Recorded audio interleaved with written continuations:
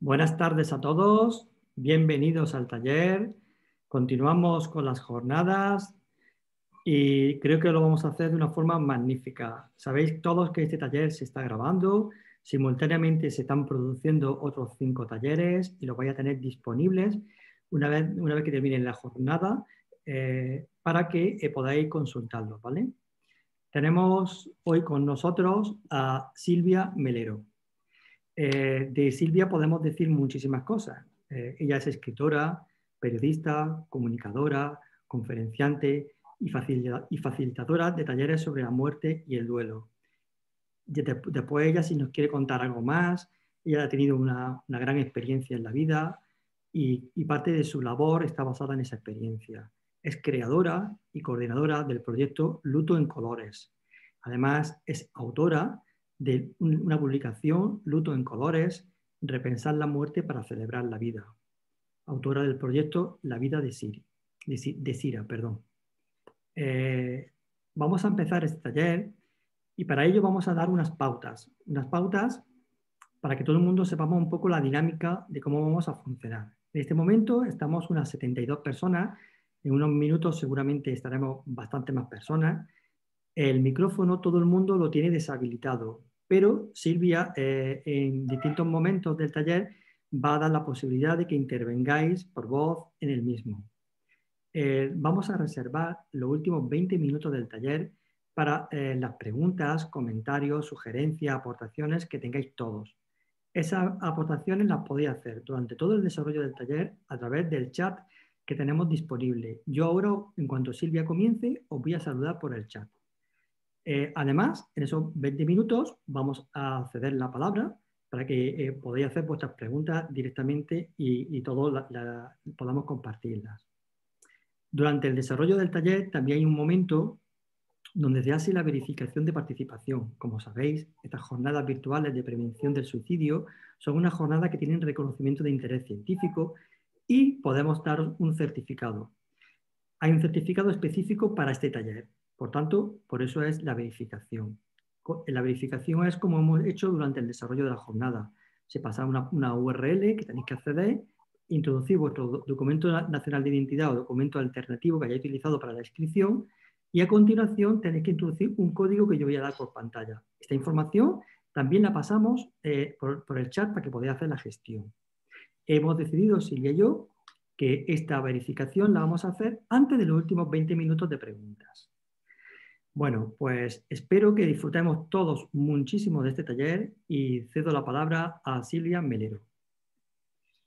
Bueno, muchísimas gracias. Buenas tardes a todas y a todos. Y me encanta que os puedo ver ahí porque yo tengo mis limitaciones también con esto de, la tecnología y, y, os confieso que es la primera vez que hago este formato. Sí lo he hecho con charlas, pero bueno, los talleres siempre son presenciales, ya sabéis, pero ahora nos estamos adaptando a estas nuevas formas y para mí es una tranquilidad tremenda cómo está organizado todo y bueno, tenemos ahí a José Rodríguez apoyando en toda la parte técnica, entonces me siento súper cómoda. Quiero daros las gracias a, todas las personas que queréis compartir este ratito eh, en el que vamos a estar por estos temas tan, tan densos y tan duros y difíciles a veces, pero bueno, estoy convencida de que también podemos ponerle mucha luz hoy ¿no? Eh, a todo esto, no solo desde este lado del que hablo yo, porque tengo bastantes cosas que compartir, sino desde el otro lado. ¿no? Quiero agradecer pues, a la Escuela Nacional de Salud Pública, José Luis Bimbela, a Tachi Prieto, la organización de, todo esto. Han sido muy valientes porque mm, cuando se habla de prevención del suicidio, mm, me ha tocado y alguna vez me han, invitado, recuerdo en la Asamblea de Madrid hace unos años también, para, hablar de luto en colores y de la muerte, pero siempre que se habla de prevención del suicidio, a veces queda una pata un poco descolgada, que es cuando la muerte sucede y, es hablar del duelo también y de las personas que, hemos perdido un ser querido por suicidio. ¿no? Y por eso digo que, habéis sido muy valientes en esta jornada de introducir esto, visto que durante la mañana también eh, se ha tocado este tema y sobre todo tener esta visión tan amplia ¿no? de, abordaje multidisciplinar, que luego esto sí me, gustaría también eh, hablar un poquito más, más de esto. Pero antes de empezar yo con todo el rollo, y ya os digo, adaptándome pues, a este formato y, hacerlo así. Em, todos los talleres que yo hago siempre son presenciales, en grupo reducido, entonces, bueno, que, espero poder aportar mm, bueno, pues cosas que sirvan ¿no? y, que abran ventanas. Pero lo que sí me gustaría es, por tener yo también un poco mm, más información de quiénes estáis ahí, por eso les pregunté si sería posible ¿no? que, que abrierais el micrófono y que intervengáis. Sí que me gustaría, pues a lo mejor alguna persona que se anime, que podéis levantar ahí la mano si queréis, que me contéis un poco quiénes sois, lo podemos hacer a lo mejor con cinco o seis personas, bueno, vamos viendo, ¿eh? ¿eh? y por qué estáis aquí, en este espacio, ¿no? Porque para mí también es importante saberlo, porque es información del otro lado y, en base a eso también vamos construyendo todo. Entonces, ya a ver quién se anima, cuando levantáis así la mano, simplemente que me digáis quiénes sois, por qué estáis aquí, qué esperáis un poco de, este espacio que, que vamos a compartir, pero sobre todo por qué estáis aquí. Todos tenéis disponible la opción de levantar mano abajo, abajo a la derecha, ¿vale?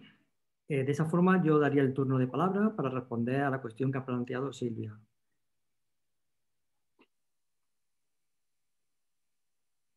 Piedad, ¿no? En principio parece que no, que son tímidos. Tenemos, tenemos no, Piedad ha levantado la mano. Venga, venga, vamos a darle turno de palabra.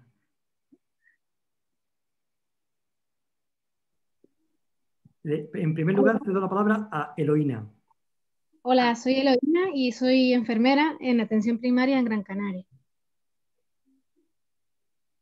¿Y por qué? ¿Por qué estás aquí en este espacio?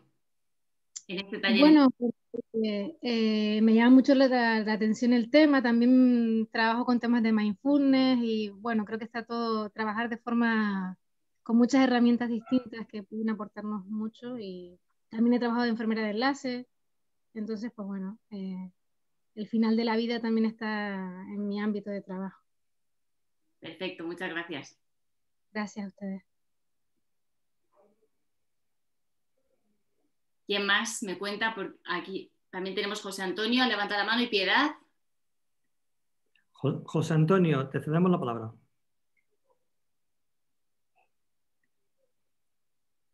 José Antonio, Ahora, sí, sí, sí, es que no sabía cómo cancelar lo del silencio. Eh, yo soy psicólogo y trabajo con adolescentes y trabajo en una residencia de personas con discapacidad intelectual en Málaga. ¿Y qué esperas de este espacio? Aprender. No es poco. Gracias.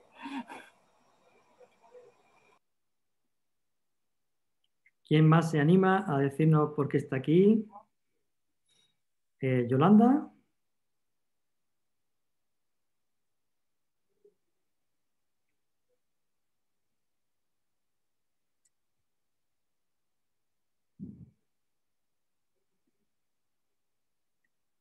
Os recuerdo que en todo momento podéis encender vuestra cámara y sería súper agradable poder veros en todo momento, ¿vale? Veo que hay muchos compañeros que tienen la cámara apagada, la, podéis encender, ¿de acuerdo? Porque por gestos también os podemos interpretar, ¿vale? ¿Alguien más se anima? José, Piedad Castellanos ha levantado la mano varias veces, si le puedes activar a ella. Venga, perfecto. Piedad, como tú quieras.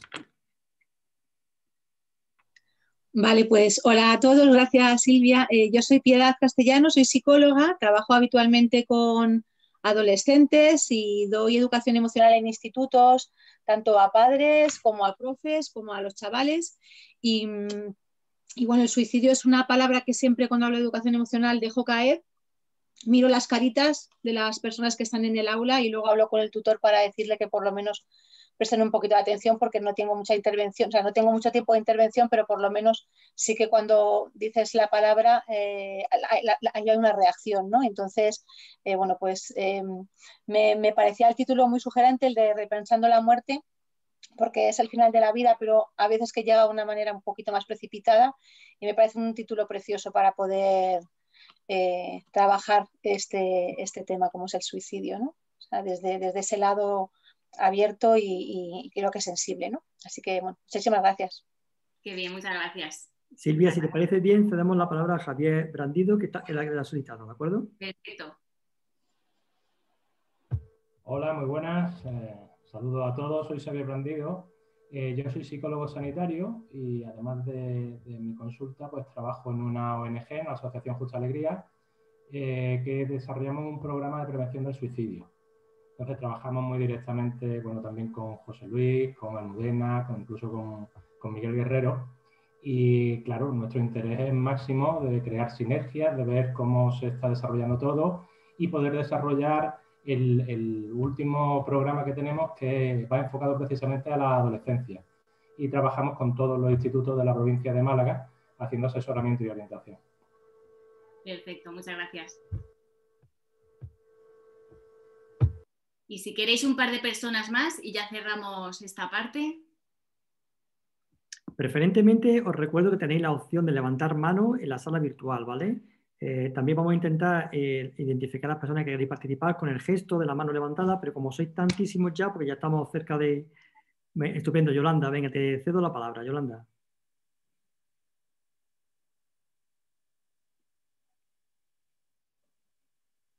Yolanda, acepta abrir el micrófono. Abajo a la izquierda, darle a, abrir micrófono.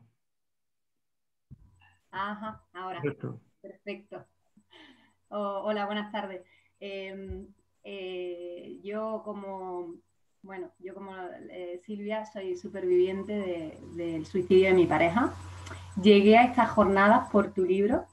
Eh, me leí tu libro y bueno, creo que estuve buscando, no sé, buscando algo, vi que había estas jornadas y me parecieron muy interesantes. Entonces, en el, proceso de mi duelo, pues me pareció muy interesante porque creo que, me daría respuestas a muchas cosas. La verdad es que estoy encantada y, estaba interesada en tu, en tu taller porque tu libro me, removió tanto, me, dio respuesta a muchas cosas. Y, bueno, pues estoy aquí para seguir aprendiendo de ti. Gracias por ese libro porque la verdad es que me he sentido muy identificada, muy, muy identificada contigo. Muchas gracias, Yolanda. Muchísimas gracias. Gracias. ¿Y una persona más?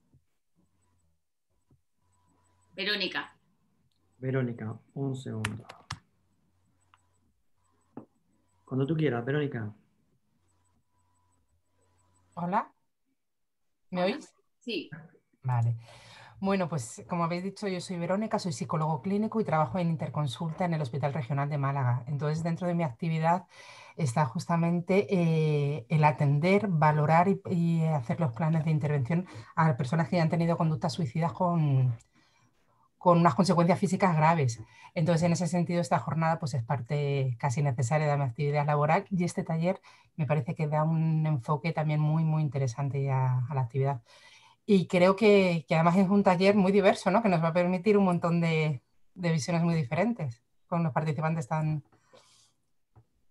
tan, tan diferentes que somos. Y nada, vamos para allá. Muchísimas gracias. Muchas gracias, muchísimas gracias. yo me emociono cuando os escucho, porque claro, y para mí por eso es tan importante esta parte, ¿no? De saber quiénes estáis ahí, porque claro, también me habéis dado mucha información. Sé que hay muchos profesionales de, la salud mental, ¿no? Y profesional sanitario, me suele pasar también muchas veces, y, luego personas en duelo. Por eso era importante también ver, ver en duelo, que habéis pasado procesos de duelo, que habéis tenido pérdidas por suicidio. Entonces, bueno, teniendo esta perspectiva un poco más amplia, pues voy a intentar también ahí situarme desde ahí, ¿no? Eh, yo os, contaba al principio que, claro, cuando tengo que intervenir en, en jornadas o espacios de prevención del suicidio, mi lugar es un poco delicado eh, porque durante todo el día en esta jornada pues, eh, han estado interviniendo y hablando profesionales de la psicología, expertos, expertas en, prevención del suicidio. Yo estoy en otro, en otro lugar, ¿no? que no es ese. Mm, todo lo que se construyó después de la muerte de mi hermana tiene que ver con mi vivencia personal, con los aprendizajes que llegaban desde otro lugar.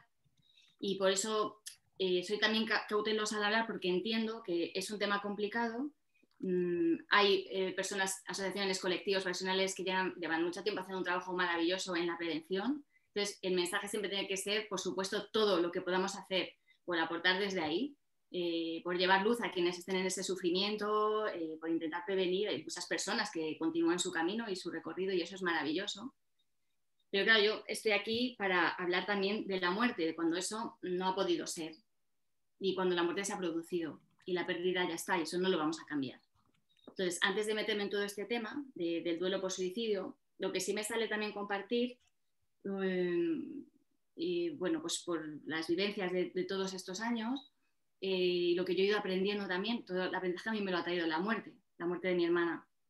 Y todo su proceso también de salud mental, ella era psicóloga, luego os contaré esto un poquito también más detenidamente, pero a mí sobre todo lo que me trajo esto es amplificar mucho, ¿no? Amplificar la percepción, los sentidos, el conocimiento, y creo que desde ese otro lado en el que estáis también, quienes trabajáis en prevención, a mí esta es la clave que, me ha traído todo, todo este camino.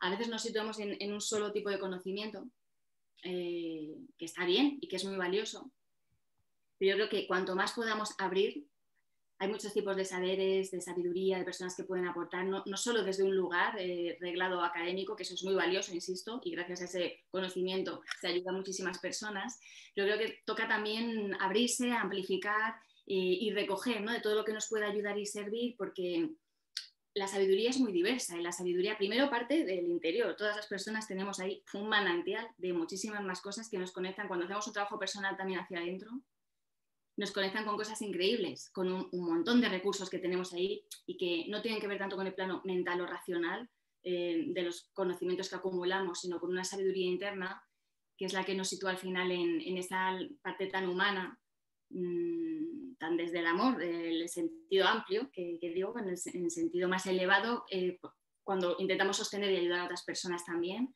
entendiendo que cada cual hace su camino y su recorrido, que esto es otro de, los aprendizajes que, a mí me ha traído todo esto, pero esta parte importante, ¿no? De estemos en el, lugar que estemos, eh, en la profesión en la que estemos, haciendo lo que estemos siempre, podemos situarnos desde un lugar también de amplificar conocimientos, saberes, abrirnos, sin prejuicios. Yo hay cosas que hoy sé que yo no sabía hace seis años y medio, ¿no? Hace siete años, cuando murió mi hermana, no tenía ni idea. Entonces, claro, requiere también una parte de humildad, de decir, ah, que igual aquí en todo esto hay cosas que yo antes no conocía, ¿no? Y me, puedo abrir a, saberes de otro tipo, a terapias de otro tipo, porque al final todo es complementario y sin miedo, sin tenerle miedo, ¿no? Eh, a las cosas. Quiero decir que hay, hay, muchos ámbitos que nos pueden nutrir. Entonces, bueno, esto es lo que quería aportar simplemente también, de añadirlo a la parte de prevención, eh, de todo ese trabajo maravilloso que, se hace ahí y que, y sostiene a tantas personas y que ayuda lo que me encanta de, la jornada y de la forma que tenéis de trabajar en la Escuela Andaluza de Salud Pública es esa, amplificación de todo. ¿no? Es decir, hoy habéis abordado la prevención desde la parte biológica, somos biología, somos cuerpo, por supuesto, materia, entonces hay muchas cosas que entender también en el funcionamiento del cerebro. Yo aprendí muchas cosas de esto también gracias a mi hermana, que, era psicóloga y que me hizo entender cómo, era su proceso y esta complejidad ¿no? también del cerebro humano. Pero además de esa dimensión biológica que somos, habéis abordado otras por supuesto, la dimensión social, cómo seres que interactuamos con, otros, el entorno, el contexto, un montón de cosas que están ahí, y esa dimensión espiritual, que para mí es clave, mm, que tiene que ver con, eh, no con el hecho religioso, por supuesto, para algunas personas sí, podrá tener que ver con eso, eh, y como siempre, desde el respeto y la tolerancia máxima, a, quien le ayude la religión y, las experiencias que le pueda traer eso es maravilloso. En mi caso, no es desde ahí. Yo sí me considero una persona muy espiritual, y, pero no sigo ninguna religión. Y creo que la espiritualidad es ese terreno tan amplio y tan maravilloso que nos permite conectar, bueno, pues con todo ese mundo de lo invisible que es tan importante, con toda esa dimensión del ser cuando se amplifica, con todo lo que somos.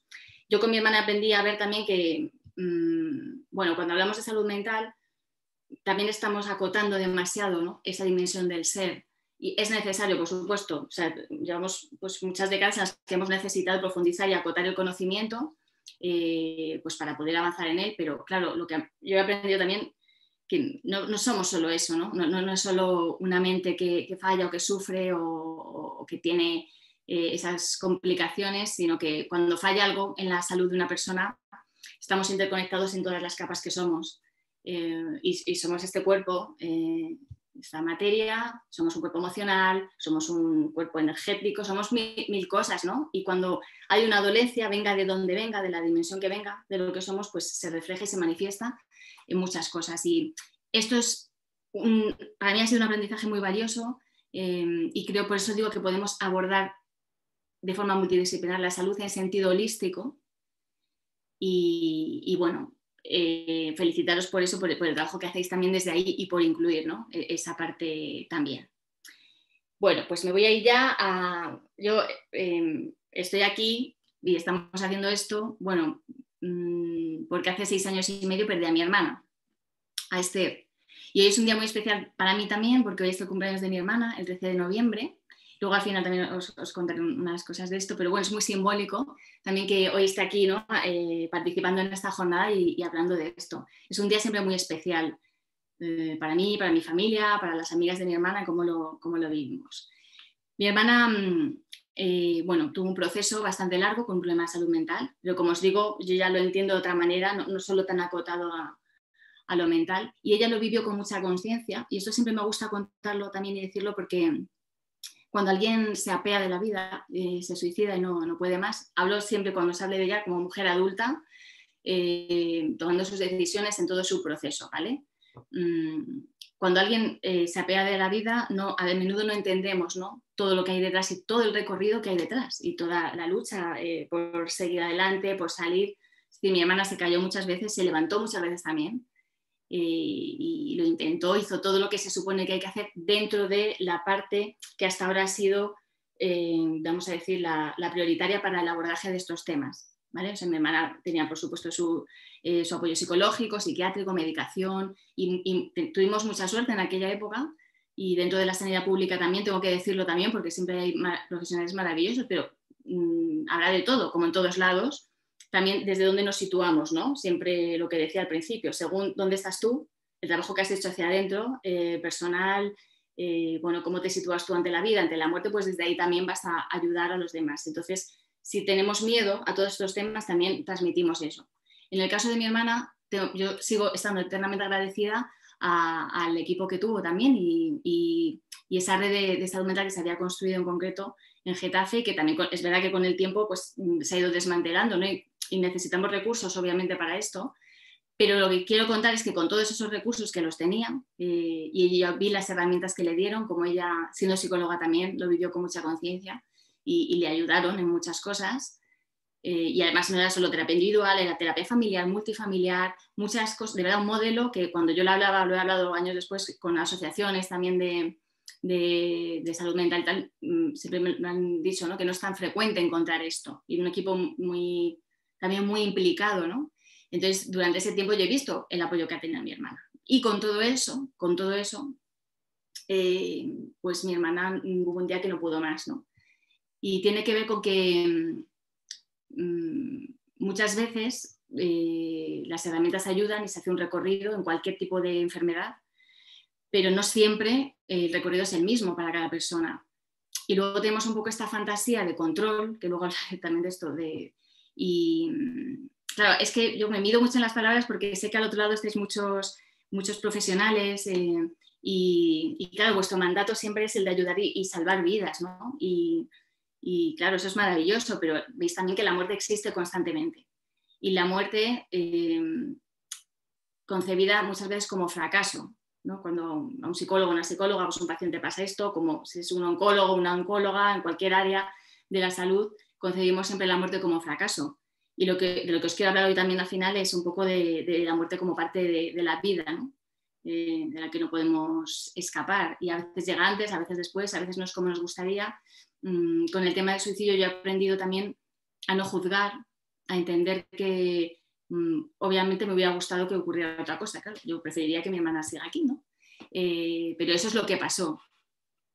Y cuando sucedió, después lo que os contaba de todo ese apoyo que ella sí ha tenido, que, lo hemos vivido en, en, mi familia y de toda esa red, y toda esa red que se extendía a su grupo de amigas, que ella también tenía tenía miedo, ¿no? A veces a contar lo que pasaba y tardó mucho tiempo en compartirlo en el grupo de amigas más cercano, porque como sabéis también, si el, suicidio es un tabú del que nos cuesta hablar, venimos del otro tabú que es hablar de, estas dificultades y problemas en la salud mental, por el miedo al estigma, por el miedo a lo que se piense fuera. Entonces, bueno, ella tuvo que vencer también sus miedos hasta que un día lo contó. Y lo que pasó es que pues, su grupo de amigas la apoyó y la arropó, ¿no? También hasta dónde se puede llegar y hasta dónde se deja porque cada persona tiene también sus tiempos de querer estar más sola, de querer estar más acompañada, de querer vivirlo. Yo lo que siempre he sentido y he, intentado ver a mi hermana con, mucho respeto en sus decisiones y en cómo quería llevar su proceso. Ella vivía sola, eh, ella hasta el último momento de su vida ha tenido esa autonomía, esa independencia, creo que era muy importante.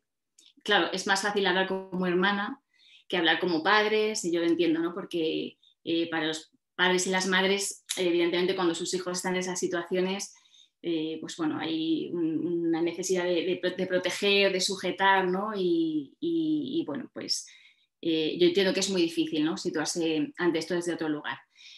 Pero cuando mi hermana murió, em, yo entendí lo que había pasado, entendí su decisión, entendía, era como también porque ella me había compartido mucho ¿no? podía entender mucho su proceso. Cuando explicaba, no es que no quiera, es que no puedo, es que hay veces que cuando pierdes cierto control ya de tus pensamientos, de, tu mente, mm, la vida no se manifiesta como a ella le, hubiera gustado y ella amaba la vida y muchísimo, pero no quería vivirla así. Entonces, bueno, lo que a mí me pasó es que cuando ella muere yo entiendo y acepto su, su decisión. Y eso me llevó, claro, a una vivencia del duelo pues eh, distinta, diferente. Y esto no es que yo sea rara, ni me haya pasado esto. tengo mucha suerte de compartir talleres con personas en duelo que han perdido también a, a seres queridos por suicidio y esto me lo he encontrado más veces, pero a veces nos cuesta hasta verbalizarlo. También decir, ¿no? Tiene que ver con los sentimientos de culpa que ahora comentar esto también. Em, entender la decisión para mí era como se ha acabado un sufrimiento que ha sostenido muchísimo tiempo, ha intentado todo lo que ha estado en su mano y, no, y no ha podido más. ¿no? Y, a partir de ahí me vi con una vivencia en la que había dolor muchísimo. El dolor es desgarrador, claro, cuando pierdes a alguien a quien quieres y además hay que entregarse, no, no podemos resistirnos a eso. Eh, cuando dejemos estos vínculos afectivos con las personas que queremos y no están físicamente, eh, claro, es desgarrador, ¿no? Pero junto a todo eso había más cosas en la vivencia. Y todo lo que voy a hablar yo ahora del duelo incluso lo que os voy a contar del tema de la creatividad y cómo eh, hemos ido abriendo ventanas o, diferentes espacios para trabajarlo, me doy cuenta que se puede extrapolar a, prevención también. Es decir, en la medida en que amplificamos la mirada y nos situamos desde diferentes lugares, vamos abriendo ventanas. Y, bueno, todos esos colores que le hemos puesto a luto en colores, en la fase de duelo creo que también pueden estar antes, ¿no? Y que hay caminos que se pueden abrir ahí desde otro lugar. Yo cuando, mm, cuando estábamos en el Instituto Anatómico Forense, me acuerdo, eh, nos dieron un, folleto con las etapas y las fases del duelo, que esto es útil y servirá a mucha gente, pero claro, lo que a mí me pasó es que yo no me sentía reflejada en esas fases. Es lo que nos pasa a veces cuando todo está muy compartimentado, ¿no?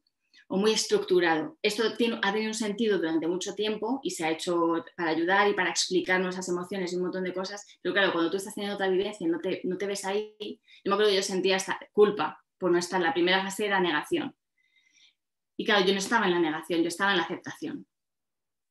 ¿Y cómo es esto ¿no? de la mente? ¿no? Eh, de todas las trampas que nos hace, que yo sentía culpa por haber aceptado y entendido eh, la muerte de mi hermana.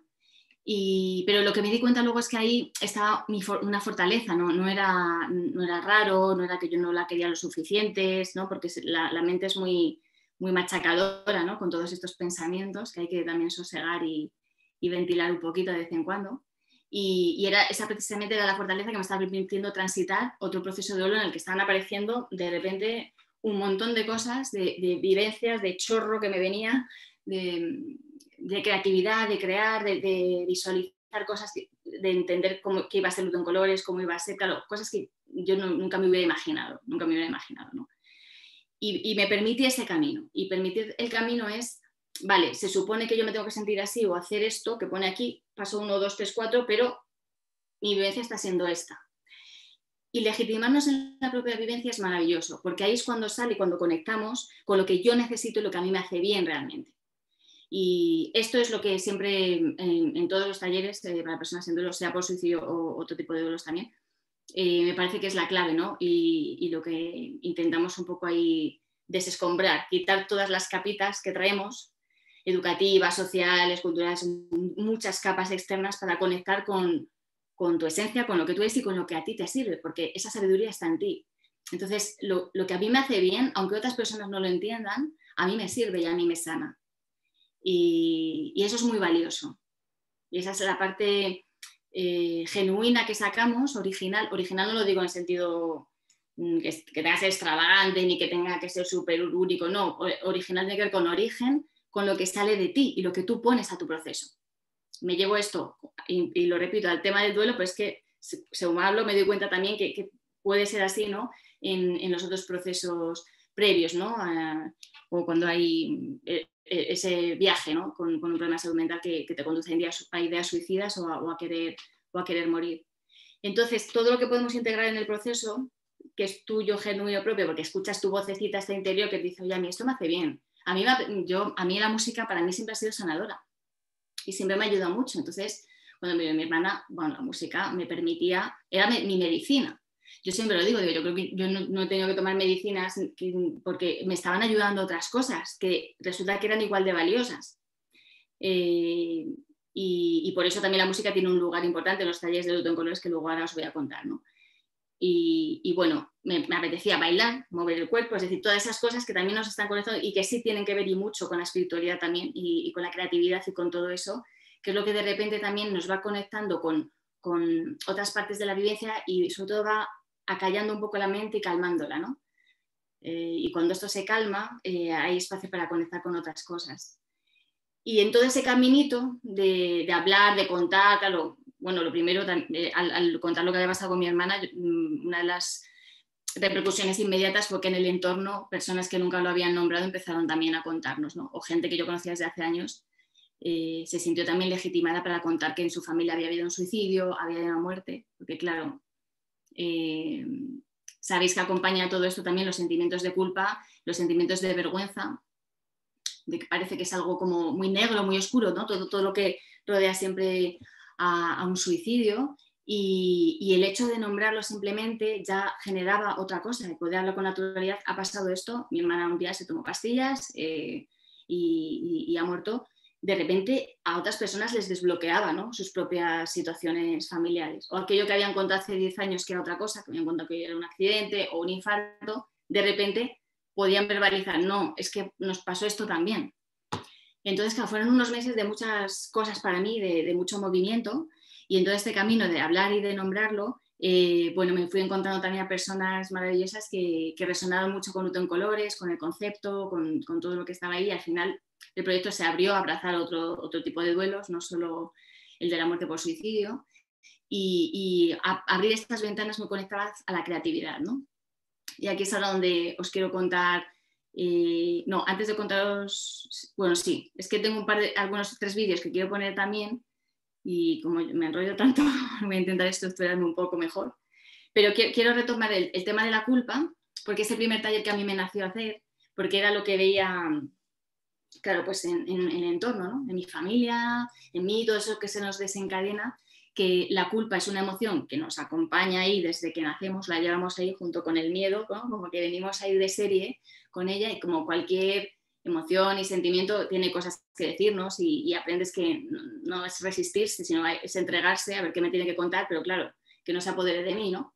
Porque al final si se apodera de mí me lleva a un lugar también que, que, es muy, muy, muy oscuro, ¿no? Y, y la culpa es como un cáncer, ¿no? Que va ahí poquito a poco, poquito a poco en silencio, pero, pero va dañando mucho.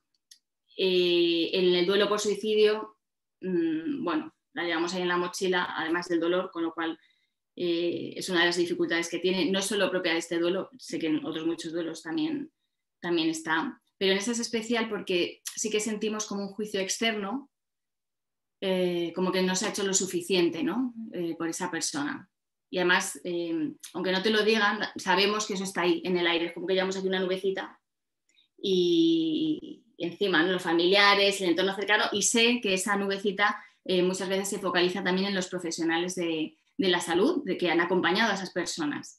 Porque la culpa va en las dos direcciones, es la culpa que siento yo como familiar cercano, pero luego muchas veces los familiares, esa culpa se señala hacia afuera también eh, y entonces empezamos a buscar culpables de por qué ha pasado esto, ¿no? Pues eh, no lo han atendido bien los médicos, la medicación no era, entonces todo esto, que está bien que lo verbalicemos y lo podamos sacar y, hablar de todo esto y entender que está ahí y si nos tiene que servir para algo la culpa será en todo caso para avanzar en el futuro y entender qué cosas se podrían hacer de otra manera, qué, enseñanzas y aprendizajes podemos sacar de esto, pero desde luego eh, en, el, proceso de dolor, cuando estás con todo el dolor por la pérdida, no, no ayuda mucho, ¿no? Y por eso el taller para transformar la culpa es el primero que me nació hacer, entendiendo que, la culpa está ahí, eh, pero que podemos transformarla y pasar a otro lugar de la vivencia. Porque la culpa al final es también un, mecanismo muy mental, ¿no? Me intenta eh, explicar lo que ha pasado, eh, pero me, saca de, esta falsa sensación de control también que tenemos muchas veces. Mm, yo entendí también que, que la vida de mi hermana, como mujer adulta, tenía su camino y su recorrido. Al principio estamos siempre ahí al lado sujetando porque queremos mucho, queremos acompañar, queremos salvar, queremos hacer todo esto, pero ahí tienes que una parte que se te va, ¿no? Y es, esta idea, ¿no? De podemos sostener con las manos, pero por aquí, aunque tú cojas agua, hay gotas que, no está en tu mano sujetar y, se van a ir. Yo creo que esta parte es muy liberadora entenderla también. Pasa con, con los temas de salud mental, pasa con cualquier enfermedad. Siempre me gusta poner de ejemplo el tema del cáncer porque es verdad que cuando alguien muere de cáncer eh, se entiende, se entiende que eh, ha, habido tratamientos que funcionan con unas personas, otros no, mm, y entendemos que, bueno, que la gente se muere por diferentes enfermedades. Y no, estamos tanto ahí en culpar quizá a los profesionales, porque cuando la enfermedad es física la vemos muy claro y, podemos entender que, bueno, se ha hecho lo que se ha podido. Pero cuando la enfermedad es invisible y no la vemos y además solo la conocemos el entorno muy cercano, solo las personas que estamos cerca sabemos realmente eh, de, cómo está esa persona. Y, no siempre, ojo, es verdad que no siempre también, porque hay familiares de su entorno que, como este tema ha sido tan tabú previamente, se encuentran de repente con, con, el suicidio y aunque intuitivamente sí sabemos cosas porque están ahí, pero bueno, hay personas que es verdad que, que a lo mejor no, no, conocían tan de cerca los procesos y de repente se han encontrado un diario de su hijo en el que él llevaba años escribiendo y explicando todo esto. Esto me, ha pasado en los talleres, pero por lo general es verdad que las familias sabemos un poco que hay algo que, que no está funcionando bien. En el caso de mi hermana, muy abiertamente, porque ella lo abría y lo, y lo compartía. ¿no? Entonces, soltar esta sensación de, de, control. Luego, si me da tiempo, hablaré también de, de Cira, de otra cosa que nos pasó que tiene que ver también con esto. Y, y, en el taller de la culpa lo que pasa es que es algo maravilloso porque lo hacemos desde esta identificación, que es lo que nos iguala a todas las personas, que hemos estado en el dolor y hemos tenido una pérdida. Y cuando yo nombro algo, una idea o algo que parece rara o que está ahí y otra persona la oye y ella nombra otra cosa que tenemos ahí en silencio, no nos atrevemos a sacar, de repente no pasa nada, no hay juicio, es un espacio en el que todos estamos en el mismo lugar de la vivencia, ahí hay algo que para mí siempre es muy hermoso porque empezamos a sacar y, a transformar y a sanar, ¿no? Y el duelo, siempre lo digo también, no es una enfermedad, es un proceso natural y muchas veces se trata como si fuera una enfermedad. Y esto creo que también nos tiene que enseñar mucho, porque yo me he encontrado a muchas personas en los talleres, sobre todo mujeres, muy medicadas con, con los temas de duelo. Y también siempre digo, yo obviamente no, no soy un profesional, entiendo que si un profesional mmm, receta a una persona antidepresivos, ansiolíticos, entiendo que eso cumple su función, no, no voy a venir hoy a cuestionar eso, pero lo que sí digo es que eh, no puede ir acompañado solo de eso. Eh, muchas experiencias directas que cuando una mujer ha perdido a su marido, un hijo, llega al médico y está en ese proceso de duelo, la receta, las pastillas y, se vuelve a casa. En realidad ahí estamos tapando, ¿no? Mm, esa persona probablemente lo que necesita es un, espacio también, o bien terapéutico profesional, o bien un espacio para hablar con otras personas y poder compartir todo esto. Eh, recuerdo en Cáceres, hace unos años que estaba allí, y me contaban la experiencia en un centro de salud, creo que era en un pueblo, mm, en el que habían hecho esto, que habilitar una sala del centro de salud y hablar, juntarse a hablar las personas una vez a la semana. Y habían reducido, no me acuerdo de la cifra, pero recuerdo que era un porcentaje alto, no sé si un 30 o un 40% el consumo de medicación, ¿no? de, relacionado con ansiolíticos o antidepresivos. Entonces, esto nos va dando también mm, mucha información de que es que podemos crear espacios, que es de lo que nos estamos yendo a veces, que es tan, tan fácil como juntarnos, compartir, intercambiar y hablar. Esto hablo del duelo, pero nuevamente cuando esos espacios se dan también en personas que están atravesando eh, situaciones muy complicadas, lo sabéis eh, quienes estáis aquí, cuando se dan esos espacios también de intercambio, de hablar sin juicio, eh, bueno, pues de poder contar, mm, es muy liberador, bueno, personas que están con ideas suicidas, de poder hablar de ellos sin juicio, cuando podemos sostener eso, también es muy liberador para, esas personas. Me, estoy refiriendo a que no siempre tiene que ser la mirada de te tengo que salvar de ahí, o, lo que nos pasa a las amigas, que nos ponemos muy nerviosas, ¿no? Si, si hay alguna intuición de ideas suicidas, que todo es, hay que ingresarle, hay que llevar al médico, la medicación, nos agarramos a todo eso. Entonces, claro, es muy difícil que se pueda generar, porque es muy humano, lógicamente, porque estamos ahí en ese miedo. Y ahí es muy difícil que se pueda generar un espacio en el que poder hablar de la muerte o que alguien pueda expresar eh, eh, con calma eh, que se quiere morir. Y esto entiendo que es muy complicado hacerlo, pero esto tiene que ver también con todo el tabú que tenemos en torno a la muerte y en cómo cada persona estamos posicionadas ante eso. Porque cuando se puede dar un espacio en el que se puede hablar de, en el que yo te puedo decir, mm, yo me quiero morir, me pasa esto y tal, y al otro lado no hay una mirada de te tengo que sacar ahí, que... pasa algo que también es muy bonito, ¿no? Eh, entonces, bueno, aprender a, integrar esto, y vuelvo siempre a lo mismo, tiene que ver con el trabajo personal que tenemos que hacer cada persona ante la muerte. ¿Cómo me sitúo yo ante esto? Bueno, ya voy a pasar a contaros mm, mm, la parte de... Hay una parte de luto en colores que tiene que ver con estas personas que yo me iba encontrando en el camino, que os contaba, y, bueno, que tiene que ver con la creatividad y es eh, ir sanando y transformando el dolor desde la creatividad, que es esa herramienta que todas las personas tenemos dentro y que es muy barata. Por ejemplo, con Rafa eh, eh, lo hicimos a través del taller de creación musical colectiva, en el que las personas nos juntamos, no tenemos ni idea de música, ni de hacer canciones ni nada, pero de repente este es el poder, el poder de abrirte desde la verdad, de sacar lo que tienes dentro, de compartir colectivamente y de crear. Entonces, bueno, eh, ahí sale una canción que os voy a poner luego al final, preciosa, que es la primera que hicimos, esto entre personas en duelo, pero todo esto que, cuento se puede extrapolar a cualquier ámbito.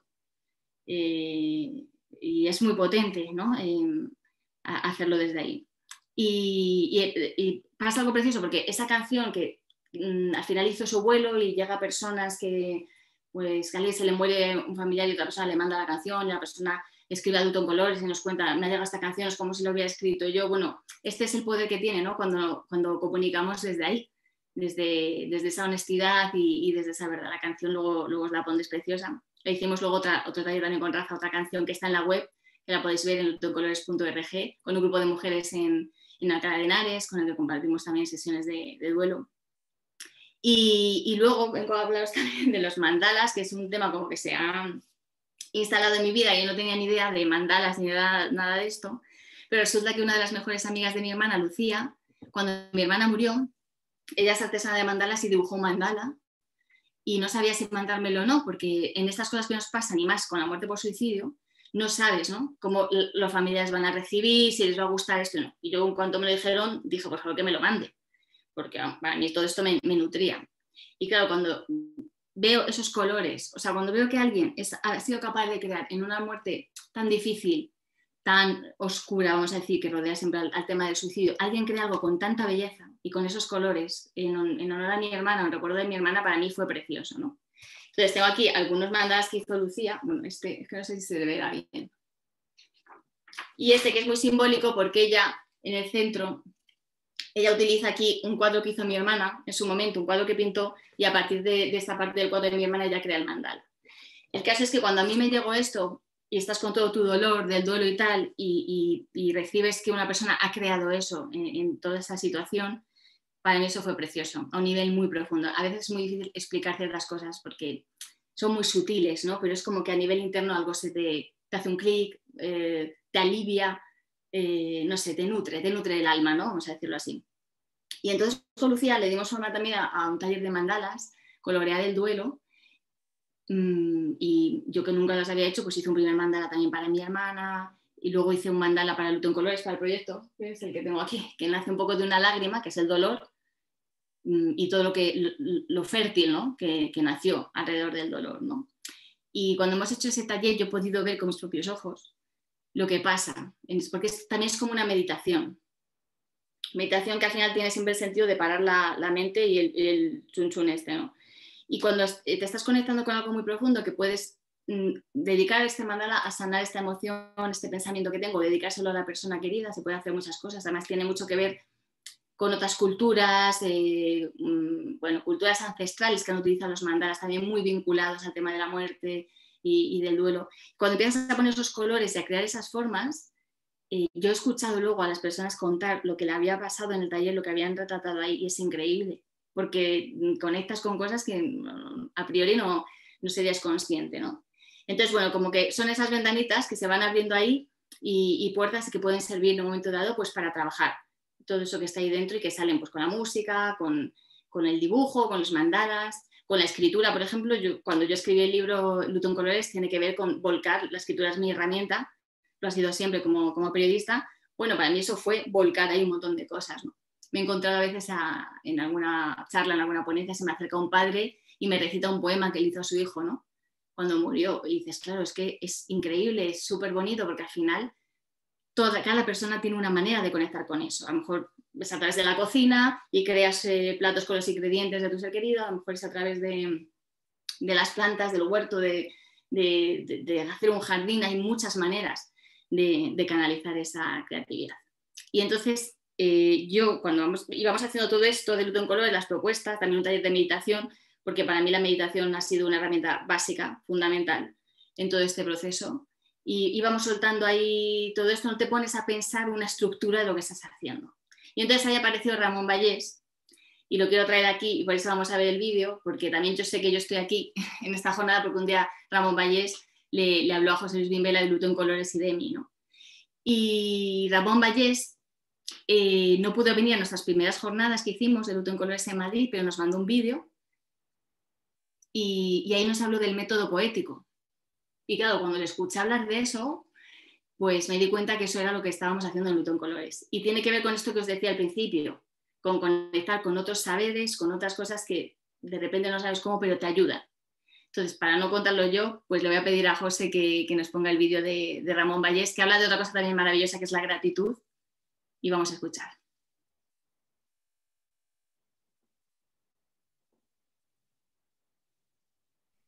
Compartimos el vídeo.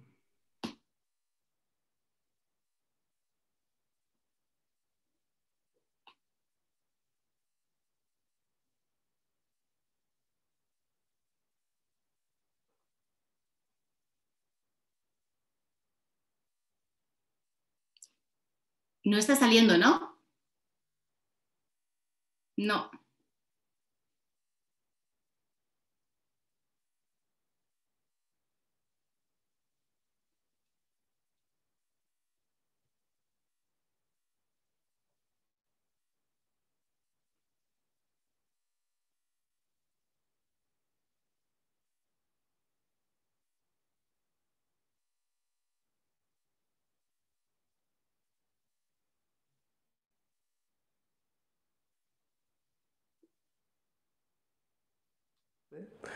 La muerte para mí no es nada más que el fin de la vida. Eh, creo que hay muchas actitudes ante la muerte, muchas veces eh, son absolutamente negativas, pero no siempre. últimamente he leído un libro que me ha gustado mucho, que se llama Gratitud. es, un, es un libro de alguien, de Oliver Sacks, eh, que es sus últimos eh, ensayos, después de una carta que escribía al New York Times, eh, explicando que él tenía poco tiempo de vida y que quería expresar la gratitud a, la vida, a los amigos, a todo lo que había tenido, porque ha, sido, ha sido para él algo maravilloso. Entonces, posteriormente a esta carta hay un librito que está, ha sido traducido en castellano y eh, que se llama Gratitud y en el cual hay tres pequeños ensayos que escribió poco antes de morir. Uno de ellos a mí me gusta especialmente, se llama Sabbat. Él eh, era un hombre, eh, fue un judío ortodoxo, nacido en el seno de una familia judía ortodoxa, que eh, cuando él era homosexual, cuando su familia, su madre se enteró de que era homosexual, lo echó de la familia y él eh, realmente no tuvo más contacto ya con su familia durante mucho tiempo. Entonces, antes de morir, él quiso volver a visitarlos y eh, tuvo una excelente acogida y entonces él visitó y fue no solamente el bien acogido, sino también eh, su pareja eh, homosexual.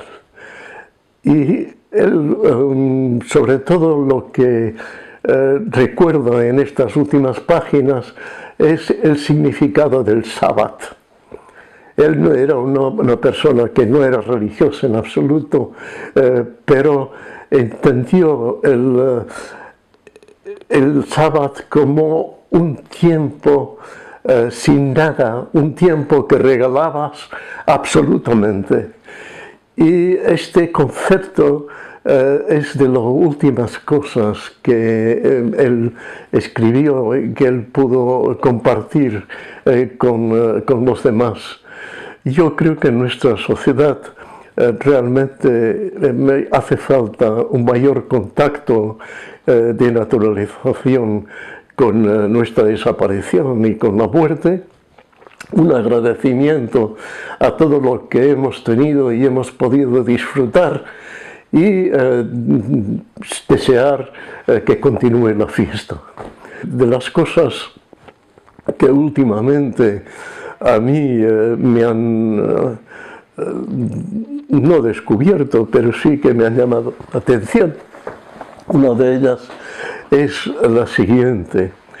Eh, normalmente yo me he movido en un mundo científico, me he movido en la universidad, he dirigido investigaciones, he dirigido tesis, he hecho experimentos, bueno, muchas de estas cosas. Luego también me ha interesado mucho el mundo de la clínica, pero hay unas situaciones en las cuales eh, realmente el método científico no nos sirve absolutamente para nada y el método clínico es totalmente insuficiente. Cuando nos encontramos ante una situación, yo diría, eh, inesperada, traumática, terrible, entonces hay que hacer uso de otra metodología para poder entenderla, comprenderla y asumirla que es el método poético. Método poético eh, lo descubrí a través de unas líneas de un libro muy bonito en cuidados paliativos eh, que se llama, eh, es de una médica británica que se llama Jonah Heath y es, el libro se llama, es un librito, se llama Ayudar a morir. Entonces, en unas simples líneas de este librito magnífico, eh, yo encontré lo que es el método poético. Contrapuesto al método científico y al método clínico, el método poético lo que significa es aceptar, ver, observar, escuchar la realidad tal como se presenta y tratar de afrontarla con todos realmente su complejidad. El método científico lo que trata es de entender la realidad a través de la simplificación, a través de modelos, a través de diseños, a través de otras cosas. Entonces, eh, el método clínico de lo que trata es de aplicar el método científico a casos individuales eh, y entonces eh, ver cómo funciona, observar, observar lo que pasa, introducir cambios, etc. Pero hay veces, eh, por ejemplo, ante una pérdida, ante un suceso traumático, ante una violación, ante realmente eh, un, eh, un qué sé yo, pues un terremoto, ante un hecho de la naturaleza o de los humanos terrible, eh, no hay tiempo, ni sirve para nada el método científico, no tenemos tiempo para adoptar el método clínico y lo único que podemos hacer es afrontar la realidad en toda su complejidad. Y entonces lo que nos sirve es lo que podemos decir inteligencia tácita. Hay dos tipos de inteligencia, una inteligencia que podemos, o si quieres, de conocimientos, unos conocimientos que podemos adquirir a través de, libros, a través de conferencias, a través de experiencias, pero hay una, un conocimiento tácito que lo vamos adquiriendo a través de las vivencias que vamos teniendo a lo largo de la vida, a través de los libros y también a través de los viajes, a través de, cosas que nos pasan, a través de, eh, ver. Eh, y hay cosas del conocimiento tácito, es decir, sabemos muchas más cosas de las que creemos saber o de las que podemos comunicar. Entonces, cuando nos encontramos frente a esta situación insólita, esta situación traumática, entonces todo esto no sabemos cómo, pero funciona y nos sirve. Y podemos actuar de una manera que solo podríamos hacerlo si eh, no tuviéramos, hubiéramos adquirido esta riqueza a través de nuestras propias experiencias. Entonces, ¿Cómo se adquiere el método tácito? Pues se adquiere viendo buenas películas, viendo buenas novelas, reflexionando, teniendo amistades nuevas, conociendo cosas y yendo integrando todo esto en nosotros.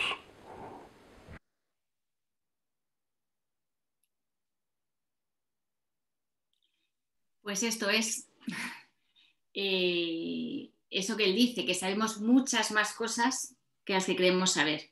Eso yo lo he experimentado en mi propia vivencia y lo veo continuamente eh, en la cantidad de personas que tengo la suerte de conocer, ¿no? en los encuentros que hacemos en los colores, en lo que está pasando ya mismo al otro lado, en todas las personas que estáis aquí. Yo cuento desde un lugar que es mi vivencia, mi proceso de aprendizaje, la indagación que yo he hecho estos años sobre la muerte, sobre entender y amplificar un poco más la mirada en estos temas, pero claro, al otro lado tenéis cantidad de vivencias, de conocimiento, un montón de cosas que tienen que ver con, esto que decía él, que es un conocimiento propio que creamos ahí.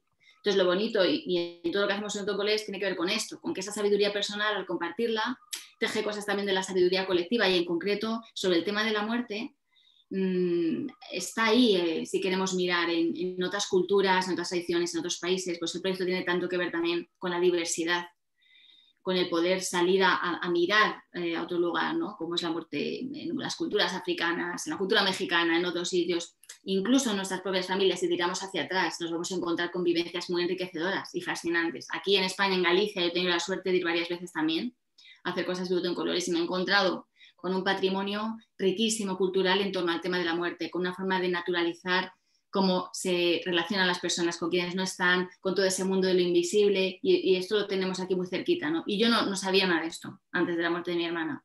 Entonces, cuando se nos abre esta, esta vía, resulta que todo estaba ahí. Que yo no lo supiera antes no significa que ese conocimiento no esté. O que yo hace 10 años no, experimentaba, no experimentara ciertas cosas, no significa que ahora no las pueda experimentar. Entonces, tener siempre esta perspectiva me, me parece interesantísima, ¿no? Y así es como aprendí también que, que la muerte es transformación, y, que había un momento que yo también con humildad tenía que ver que tenía toda esta vivencia para mí. Y desde luego no, era la periodista la que estaba recibiendo todo esto, no, era mi título universitario, no, es, claro, evidentemente yo no estoy situada, cuando os estoy hablando ahora, mm, si acaso podrá tener que ver la parte de, comunicadora, que es la que me puede facilitar ¿no? el comunicar un poco, pero no tiene nada que ver con la Silvia del título, del tal, no, no, es esto, ¿no? sino es una vivencia personal profunda la que me ha hecho transitar este camino, que era Luto en Colores, y hacer todo lo que, lo que hacemos ahora, unido a mi interés por querer formarme en otro tipo de áreas y, investigar mucho más sobre, sobre, el tema de la muerte y, de esa transformación que es. Siempre me gusta decir que eh, cómo sentimos también a nuestros seres queridos en nuestra vida es algo muy único, muy personal, muy, muy fascinante. También cuando se da el espacio sin juicio para que las personas puedan comunicar. Hay experiencias preciosas, ¿no? De cómo podemos hablar de esto también sin miedo, sin, sin miedo a que los juzguen externamente, porque pasa un poco esto. Y, y ahí también me he encontrado personalmente profesionales del ámbito de la psicología que me han dicho que con lo que saben hoy sobre la muerte, no hubieran medicado hace años a personas que les estaban contando algunas vivencias sobre cómo se relacionaban con sus seres queridos muertos, fallecidos, vamos a decir y no voy a entrar mucho en esto hoy, pero sí que me parece muy importante también poder abrir esa mirada para entender que cuando alguien a lo mejor me está comunicando algún tipo de experiencia, de vivencia, no necesariamente tiene que haber algo ahí patologizado, no tenemos que mirarlo con miedo, sino se puede ver desde dónde le nace contarlo. Y aunque tú en tu mente, en tu estructura cerebral, no puedas entender esa vivencia, eh, si, puedes abrirte a recibirlo desde otro lugar, sin, miedo, sin, hay algo muy rico y muy valioso también, ¿no? Y, esto está, está, si sacas el tema en las familias, está todo el rato, lo que pasa es que como no hablamos de ello, se nos ha olvidado. Se nos ha olvidado todo este patrimonio que hay en torno a la muerte, todo ese conocimiento, todo eso que se transmitía eh, de generación en generación, de cultura en cultura, porque antes no era así. Hay culturas ancestrales que tenían una vivencia de todo esto, una naturalización mucho más, más profunda. Es nuestra sociedad la que no quiere mirar a eso, porque nos pone delante una pantalla muy incómoda pensar en la muerte me hace pensar en mi propia vida, me hace tomar conciencia de las cosas, pero es fascinante. Y es fascinante porque me permite eh, situarme en, un lugar que es, muy valioso, ¿no? Que en la medida que yo tomo conciencia que voy a morir y la muerte está ahí, la vida se hace también mucho más plena y cobra una, dimensión de muchos colores y percibimos todo y la belleza, los instantes, los momentos y, el honrar el momento presente y, cómo sentimos y honramos a quienes no están, ¿no? Que tiene que ver también con, con cómo recolocamos esas ausencias en nuestras vidas para que sea algo que no, nos pese solo desde el dolor, eh, sino que sea también un, empuje y un impulso. ¿no? Y esto tiene que ver con el vídeo que os quiero poner ahora, que es otra de las iniciativas que abrimos ahí desde Luto en Colores, que como os digo, se podría extrapolar a, cualquier tipo de, trabajo que se haga. Igual que antes hablaba con la escritura y se me olvidó nombrar, eh, me contaban en la Biblioteca del Retiro, y como estaba tan cerquita del Niño Jesús, habían hecho un proyecto interesantísimo con la planta de psiquiatría de menores que, bueno, ahí también habría mucho que hablar, porque claro, eh, como a veces adolescentes están en áreas de psiquiatría con menores muy infantilizados en la decoración, en las cosas, bueno, esto da para otro tema, pero eh, me acuerdo que me contaban esto también, ¿no? Como un adolescente de repente se puede sentir en un entorno como que no, no, no le está hablando, ¿no? Y le, está infantilizando muchísimo. Pero bueno, a lo que voy es que hicieron un taller de escritura también en, en esa área de, de psiquiatría y fue interesantísimo también, ¿no? Cómo los adolescentes conectaban con contar a través de la escritura todo esto que tenían dentro. No digo que tenga que ser siempre la escritura, pueden ser un montón de técnicas o de áreas, pero que nos conectan nuevamente pues, a todo esto que hablaba Ramón Vallés y, esto de abrir puertas desde diferentes lugares. Y lo que os voy a poner ahora el vídeo em, tiene que ver con hacerlo desde la fotografía, que hoy tenemos todos un móvil y es muy fácil eh, pues retratar, ¿no? Y la propuesta era, se llama Retratando las ausencias y la propuesta era que las personas retrataran su ausencia, cómo conectamos con, quienes no están y qué nos hace sentir que, están ahí. Eh, o, cómo nos relacionamos con, ellos. No a través de la imagen de esas personas que han fallecido, sino a través de objetos, de situaciones, de lugares, de cosas que, nos hacen pensar en, en, ellos. Entonces lo que pasó fue precioso, porque la gente mandó unas fotos increíbles, muy creativas y acompañadas de un texto que explicaba qué significaba y qué representaba eso. El vídeo recoge solo algunas, había muchas más, incluso hicimos una exposición física eh, en un par de centros culturales en Madrid, pero bueno, eh, os lanzo el vídeo no es solo de duelo por suicidio, sino que se incluyeron también otro tipo de, de duelos y de muertes, para que lo veáis.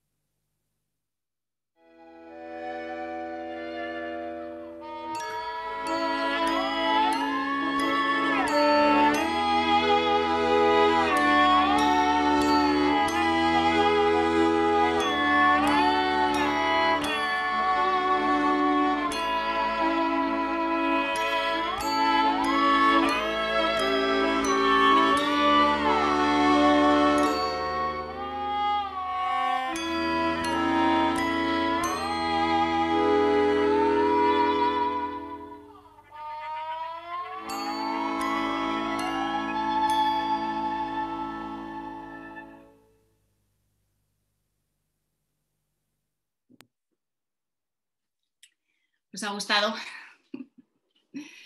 bueno, es lo que digo siempre, que al final son cosas como muy sencillas, pero desde esa sencillez nos conectan a un campo precioso, ¿no?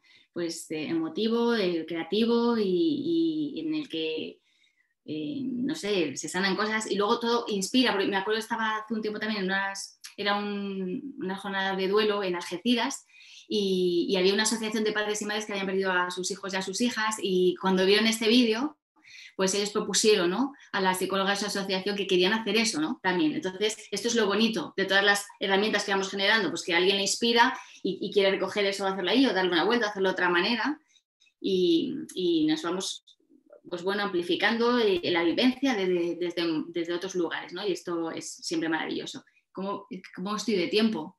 Son las... Vale. Eh, antes de, bueno, antes de, acabar luego con, el vídeo, que, quería hablar esta última parte un poco también mm, de, de, ser amables con nosotras y con nosotros mismos, porque siempre hacemos lo que podemos y lo que está en nuestra mano con lo que sabemos en cada momento. Yo eh, hace años hice lo que estaba en mi mano con mi hermana. Entonces, con lo que yo sabía en ese momento, con lo que estaba dentro de mis capacidades, de mis circunstancias, de lo que fuera, eh, lo ponemos desde ahí. Juzgarnos con el paso del tiempo, claro, es muy fácil, ¿no? Porque si yo hice más cosas y, miro hacia atrás, pues claro, me saco el látigo y entonces eh, eso es muy, es muy duro, ¿no? Cuando hacemos este, este juicio. Y, traslado esto por todos los profesionales que desde el otro lado estáis ayudando y sosteniendo un montón de pacientes. Es eh, se hace lo que se puede en cada lugar, siempre. Mm, pues desde la intención, desde el amor, desde, desde lo que está en nuestra mano. Entonces, esta parte de ser amables también con, con lo que hacemos y lo que ofrecemos en cada momento porque mm, no lo podemos hacer de otra forma en ese instante, en ese momento.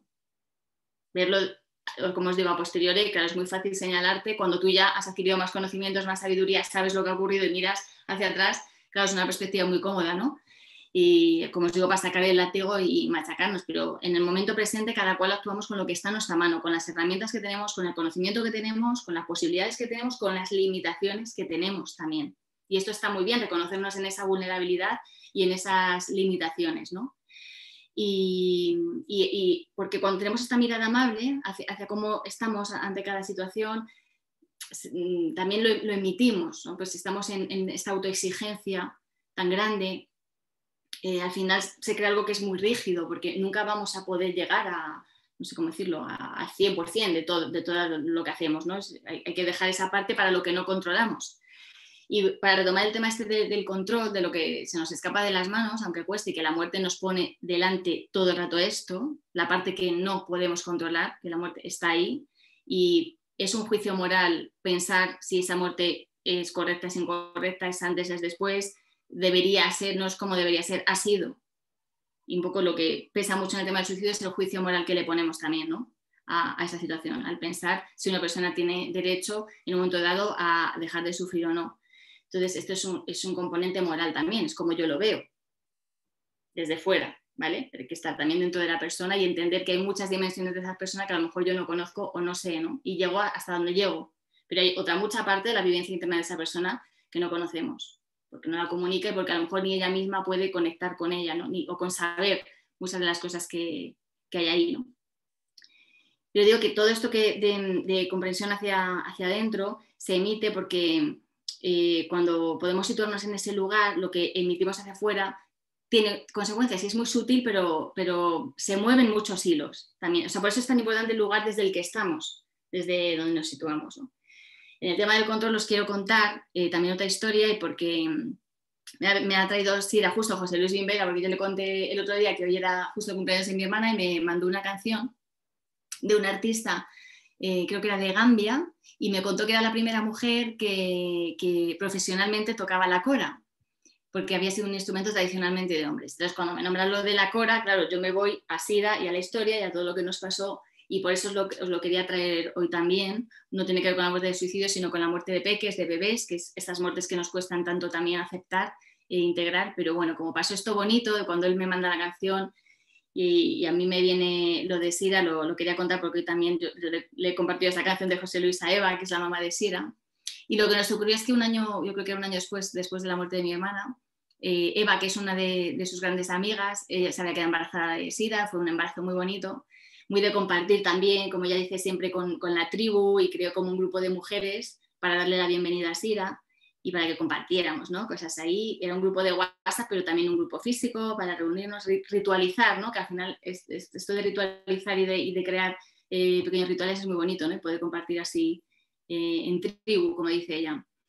Y de nuevo, pues la muerte apareció cuando nadie se lo esperaba, ¿no? cuando ni siquiera te... Es la primera vez que me encontraba también de cerca la, muerte de una bebé. Y Sira nació y a los 40 minutos de vida murió.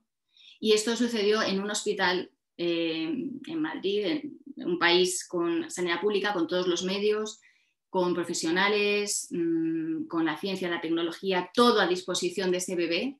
Todo el embarazo había ido bien y, no había ningún síntoma que pudiera pasar eso. Y el corazón de Sida latió durante cuarenta y tantos minutos y luego dejó de latir y esa vida se fue. Y, y vuelvo un poco a esta imagen, ¿no? Yo estoy convencida que todo el personal que había sanitario y no sanitario, y la familia, todo el mundo está volcando su energía, su conocimiento en sostener esa vida y en sacarla adelante, pero esa vida se fue, con todos los recursos alrededor. Se fue la vida de Sira como, como se, se van muchas vidas, ¿no? también en, en, los hospitales. Pero, de nuevo, era como otro tipo de muerte que cuesta mucho nombrar. Mm, a los madres y padres les cuesta mucho hablar de esa muerte, te pone una pantalla incómoda adelante, es como con el suicidio. Son, eh, ese tipo de duelos que nadie quiere eh, escuchar, ¿no? Porque eso, no pasa. Sí, sí, pasa. Claro que pasa. Y lo que hizo Eva, que fue maravilloso, es que ese grupo de mujeres que lo había llamado Bienvenida a Sida, para darle la bienvenida a su peque, lo transformó en Despidiendo a Sida. Y hoy en día ese grupo sigue existiendo se llama Sidaridad, por hacer el juego con la palabra sororidad. Y ese Despidiendo a Sira se convirtió en una experiencia de duelo compartida entre mujeres que fue fascinante, mm, en la que yo aprendí muchísimo también y que tiene que ver con todo esto que os he contado de Luto en Colores, porque ahí compartíamos pues una canción, alguien veía una estrella, como si era el nombre de una estrella, sacaba una foto y lo ponía ahí, eh, todo lo que ayudara a nutrir a Eva en ese momento, ¿no? de, ese proceso. Y, ella siempre lo ha contado, Eva también es psicóloga, pero ella dice que todo lo que sabe del duelo lo sabe por su vivencia con la pérdida de su hija. Luego se han tenido que enfrentar también a, otras dos pérdidas más de, bebés, pero no porque en la facultad de psicología eh, la hablan de eso, dice, yo recuerdo hablar del duelo a lo mejor un día, unas horas, con lo cual toda su sabiduría le viene de su vivencia y de lo que ha compartido a lo largo de este tiempo con otras personas también, ¿no? que han tenido pérdidas y toda esa red de conocimiento que vamos tejiendo cuando hablamos, contamos, nombramos, visibilizamos, que es esa red tan, tan valiosa. Y entonces sucedió que ella durante el embarazo, su hermana encontró una canción de Sira, de un artista africano, era de Senegal, es que no me acuerdo de los nombres ahora mismo de los artistas. Eh, y bueno, pues la compartió en el grupo y la escuchábamos, una canción preciosa.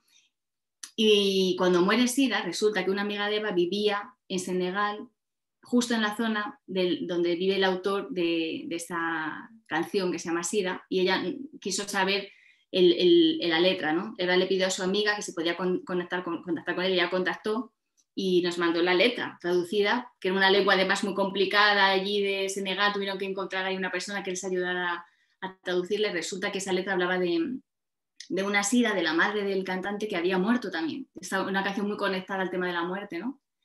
Y, y, es una pasada porque además ese hombre tenía una escuelita de cora, ¿no? De este instrumento, que es la canción que os contaba que, que José Luis me mandó hace dos días cuando le conté lo del cumpleaños de mi hermano. Y hoy yo estaba contándole a esto esta mañana y mandándole la canción también, diciendo, jo, José Luis Vela, sin saberlo, a través de la cura me ha traído la historia de Sida de nuevo y, el recuerdo de la canción y todo lo que pasó ahí, que siempre pasan cosas como muy conectadas y muy mágicas en torno a todo esto.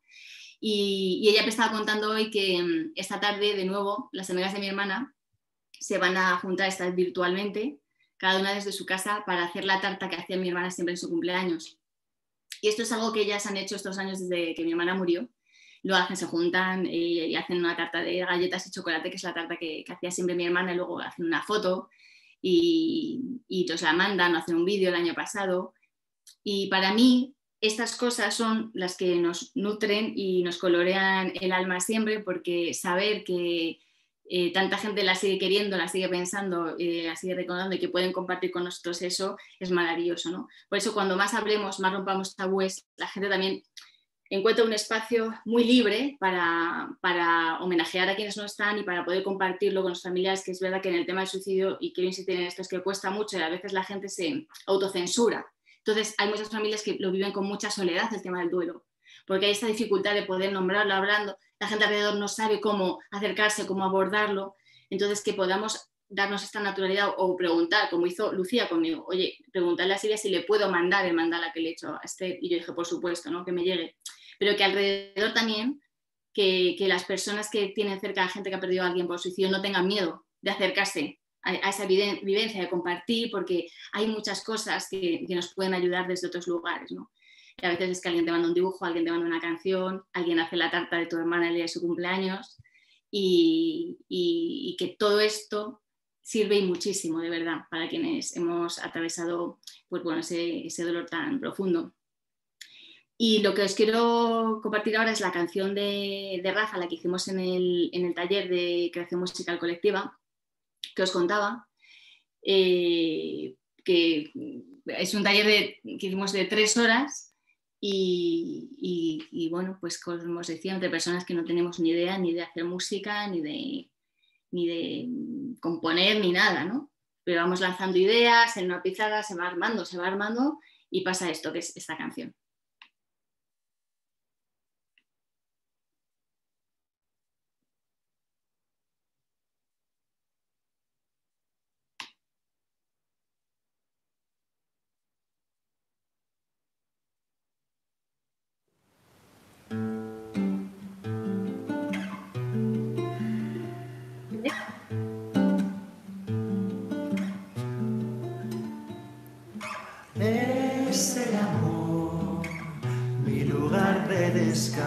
Donde el dolor. Ya no me pesa tanto y es que soltar me cose unas alas para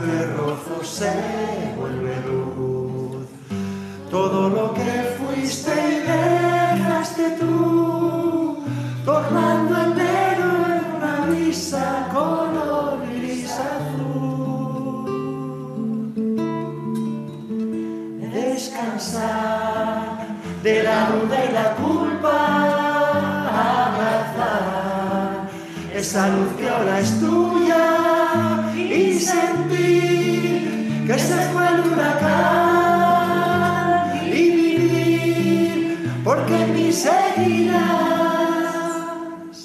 siempre tú coloreas mis días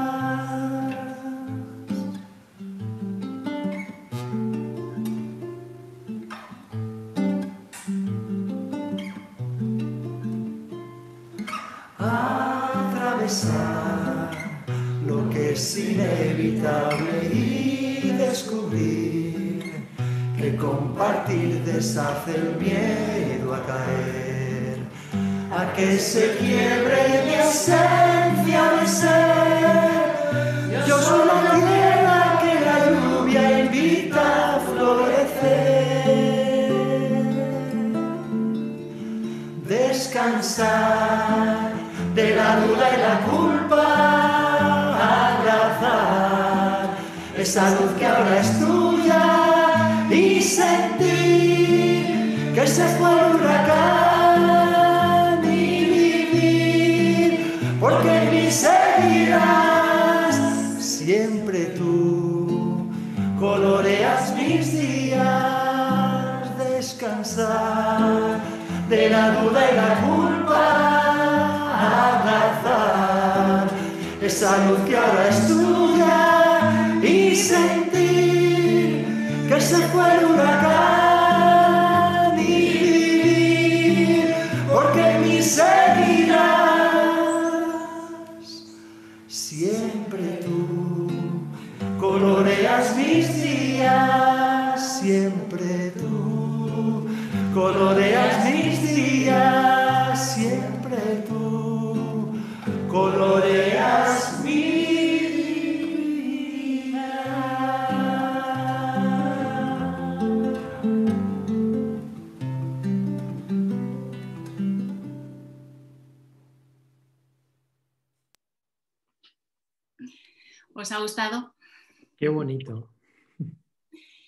me ha pasado que, claro, he mandado el audio solo, José. Por eso yo no lo veía porque no te manda el vídeo.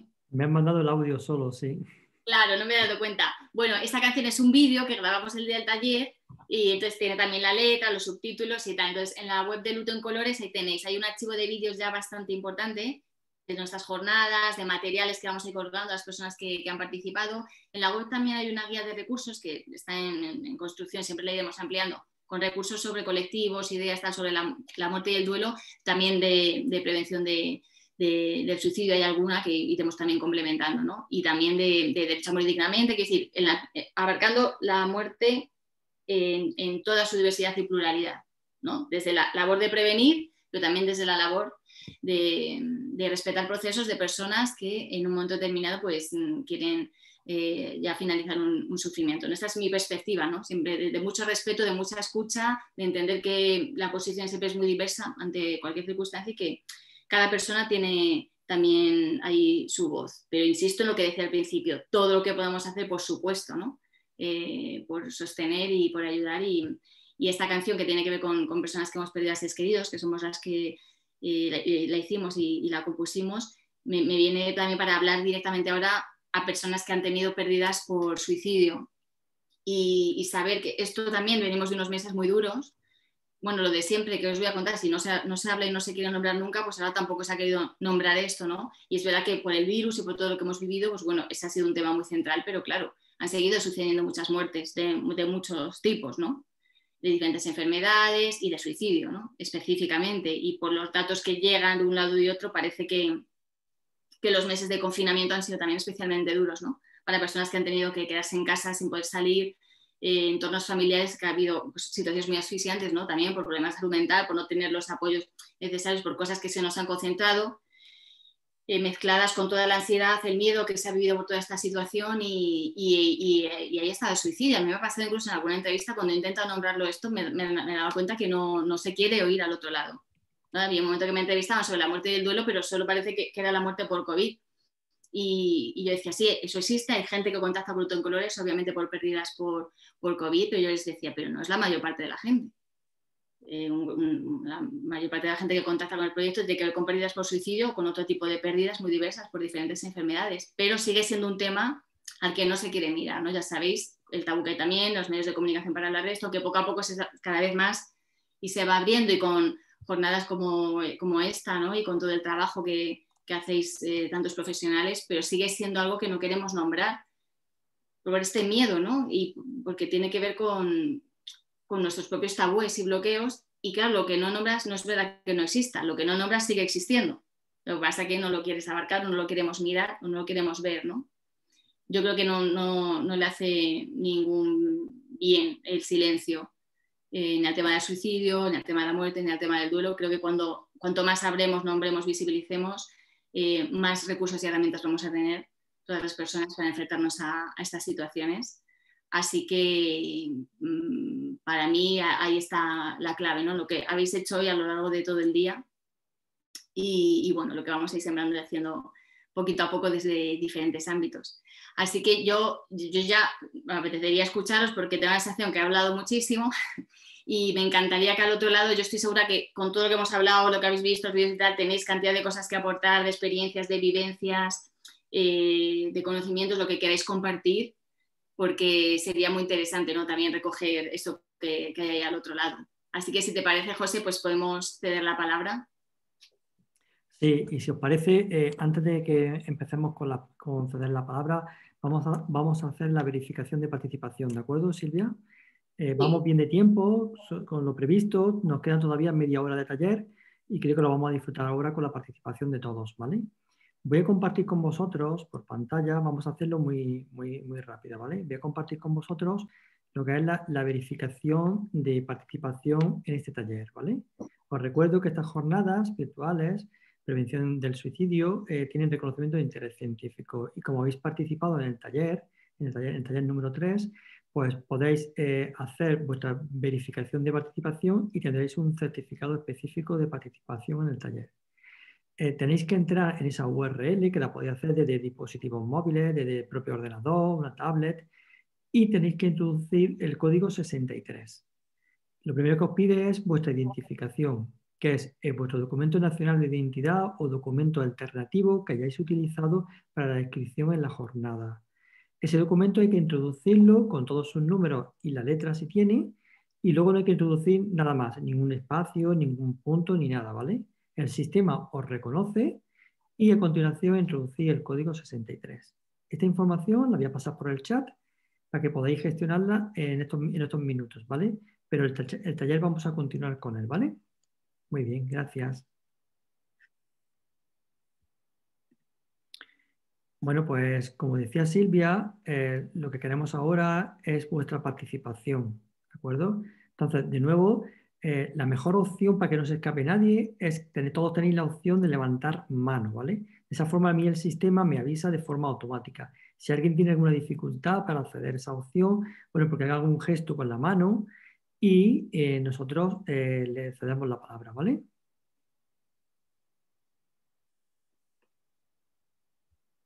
Yo, bueno, para, empezar, Silvia, eh, quiero decirte que, buscaremos ese vídeo con esa canción pues, para tener también la imagen y los subtítulos, pero te digo que ha sido una experiencia no ver la imagen y los subtítulos. Ha, sido, una experiencia nueva. Creo que Yolanda está de acuerdo conmigo porque veo que, que mueve la cabeza y la verdad que yo me he quedado un poco impresionado, ¿no? Porque ¿cómo puedo agudizar un sentido cuando los otros no están funcionando, ¿no?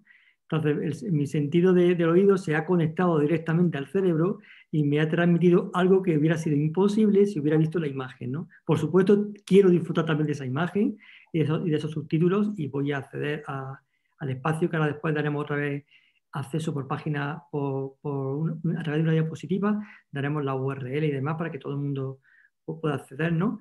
pero ha sido una experiencia maravillosa. Gracias, Silvia. Estoy de acuerdo contigo, porque a mí me ha pasado que primero he dicho, onda, se manda el audio, si no se ve nada, pero mm. luego cuando hemos entrado la canción desde ahí, solo desde el sonido ha sido precioso, porque, bueno, a mí siempre me, emociona. Mira que la habré oído 55 millones de veces, pero siempre es muy especial, porque claro, siempre que la oigo es diferente, porque ahora la estaba escuchando con vosotras y con vosotros, entonces es mm. diferente. La vivencia de hoy, de hacer esto hoy, de cómo llega la canción a través del audio, y, de lo que mueve, para mí ha sido también muy bonito hacerlo así sin, verlo. Así que todo pasa por algo siempre, hoy, no se tenía que ver. Seguro. Bueno, ya tenemos a Piedad que le vamos a ceder la palabra, ¿vale? Piedad, eh, te acabo de ceder la palabra y solamente tienes que activar. Muy bien, cuando tú quieras. Vale, bueno, yo primero muchísimas gracias Silvia por la, por la vivencia, ¿no? o sea, por cómo además lo, lo, transmites y lo has compartido y te lo quería agradecer. Y tenía una, una pregunta, pues, a ver si si, se hace tela. Eh, los grupos con los que trabaja suelen ser grupos de duelo, todo de personas que han perdido a alguien por, bueno, por cualquier tipo de muerte, ¿no? Eh, pero ah, ¿hacéis algo que tenga que ver con personas que están eh, con ideas suicidas y que esto pudiese ser una participación terapéutica para, poder eh, mm, vivenciar desde otro lado ese sentido de vida que hablaban esta mañana, ¿no? Eh, ese grupo que se genera con personas que han tenido otro tipo de experiencia y que a través de, a mí me gusta mucho cómo, cómo trabajas, que me recordaba mucho cómo trabajo yo según qué cosas en terapia, ¿no? esa parte de la fotografía y demás, pero si habíais pensado o si ya lo hacéis, incorporar a personas que tengan ese tipo de ideación para, para que de repente descubran algo que, ellos a lo mejor no, esa, ventana ¿no? de la que tú hablas. Pues mira, eh, al final la vida te va poniendo delante las cosas y yo cuando empecé el proyecto eh, estaba centrada solo el duelo, duelo, duelo, la pérdida y, entonces lo que pasaba es que gente que tenía ideas suicidas mm, mm, resonaba con algo de luto en colores o con el escucharme a mí hablar de esto y contactaban y pedían esos espacios, ¿vale? Entonces, al principio era como muy reticente porque yo estaba en como, no, solo tenemos que hacer el duelo de la muerte, pero a medida que el protocolo ha ido avanzando y se ha ido abriendo, de hecho hay otro taller específico para abordar la propia muerte, el de abrazar la muerte para abrazar la vida, que, un poco abrir las orejas y escuchar ¿no? qué se estaba demandando al otro lado. Y antes de que pasara todo esto, del confinamiento y todo, eh, bueno, ya estaba ahí moviendo hilos para poner en marcha efectivamente ese espacio porque ya es mucho tiempo pidiéndonoslo al otro lado. ¿no? Personas directamente, ¿podéis generar algún tipo de grupo, taller? Para hacerlo desde este otro lugar, que como siempre digo, es simplemente complementario a todo lo que existe, por supuesto, la atención profesional, la atención psicológica, médica, psiquiátrica, todo lo que hay ahí, pero eh, es un espacio distinto, ya veis, ¿no? Desde donde lo hacemos eh, en el duelo, pues poder generar esto también, ¿no? Desde otro lugar. Y, llegó el frenar todas las actividades y todo lo presencial del Don Colores con marzo, como nos ha pasado en tantas cosas, pero eso está ahí. Durante estos años sí me ha pasado a título personal individual, eh, bueno, pues compartir con, personas ¿no? que, estaban ahí o que están ahí. Desde una manera, como deciros, muy, eh, no sé, a otro plano, no, no de, forma pública, no a través del proyecto, no a través de todo en colores, sino en otro sitio. Y yo también he ido aprendiendo mucho de esto y es muy bonito, ¿no? Y entonces, bueno, creo que el, siguiente paso que, que se dará de en Colores o poco a poco vemos cómo lo hilamos, si tiene que ver con crear también algún tipo de taller mm, para compartir entre varias personas en modo presencial. Pero que todo esto como, va llegando cuando yo aprendo también a ver qué es lo que la vida va poniendo delante o qué es lo que la gente va pidiendo, va demandando. Y esto es muy interesante también porque a mí me hace avanzar también en determinadas direcciones y no ser tan rígida, que es lo que os he contado. Yo también, en el, claro, trabajo personal que nos hacemos que hacer cada uno, entonces yo lo mío, ¿no? Y lo que me quedará. Pero eh, en, en, esta estructura de decir, no, yo solo abordamos temas de duelo, de muerte y tal, pues no. Resulta que algo del proyecto estaba resonando también en personas que tenían otras necesidades o que les gustaría compartir espacio desde otro lugar. Y, bueno, eso me gusta que, me lo preguntes porque es, algo que está ahí también. Pero te quería preguntar a ti, ya que nos has contado que muchas de las cosas a ti te resonaban porque trabajas ahí, trabajáis, ¿no? Desde la fotografía, que nos contarás un poco también.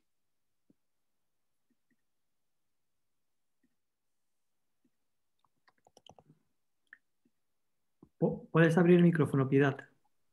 Vale, eh, gracias Silvia. No, me encanta escucharte y te voy a dar una, llamada, te voy a hacer una llamada o algo. Eh, bueno, yo es que habitualmente cuando trabajo en sesiones individuales eh, sí que utilizo mucho la parte simbólica para que las personas se puedan expresar.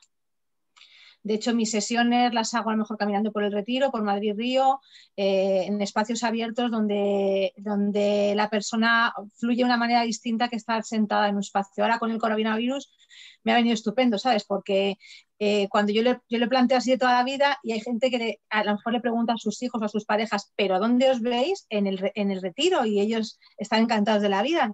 Y ahora con el coronavirus, pues es una pasada porque no, nadie te pone el problema porque eh, estás al aire libre, entonces como que es mejor, ¿no? Entonces utilizo mucho la parte simbólica de las fotos, por ejemplo, para hablar de ellos y su soledad, entonces les hago que fotografíen cosas que sean, eh, que a ellos les inspiren soledad para poder hablar sobre eso. Eh, les hago incluso que se vayan a dar un paseo por la Gran Vía solos, ¿no? En el sentimiento de soledad para ver cómo se encuentran con ellos mismos. No, no hablo de un vínculo de un tema de estas características, ¿no? Pero sí que les voy poniendo esto. Luego, por ejemplo, pues les hago que hagan mandalas de estos que yo hago, los, crean ellos mismos también, que son sencillos de hacer porque son trazos que no empiezan y demás o trabajo también con, el tema de la banda sonora de mi vida. A través de la banda sonora de su vida vamos sacando temas. Eh, bueno, voy escritura libre, escritura rápida. Entonces, es, una forma que yo trabajo habitualmente mis sesiones individuales. Cuando trabajo con alguien que además tiene algún tipo de idea que va un poquito más, más allá, pues estos temas eh, se sienten cómodos hablándolo porque yo al suicidio le llamo suicidio y entonces por primera vez eh, se sienten con que pueden hablar, o a veces me dicen, es la primera vez que puedo hablar de esto sin necesidad de tener que decir otra palabra o de no decirlo, ¿no? Y entonces es como que baja la intensidad y empiezan a trabajar. Y luego a nivel colectivo también en grupos de educación emocional, pues también trabajamos un poco ¿no? con el movimiento, con la teatralidad, con, con pintura más, más tipo arte terapia y demás, con, bueno, pues con la expresión, ¿no? es un poco una, mezcla y es, eh, es, yo creo que donde las personas, una vez que se sienten cómodas, porque al principio a veces dicen, ¿qué estoy haciendo aquí? ¿no? Eh, se empiezan a soltar y empiezan como a, reaccionar, a sentir de una manera distinta. Y como además no hay juicios, pues eh, todos están en la misma, la sensación de libertad es muy grande. Entonces salen cosas muy bonitas. Mm. Y bueno.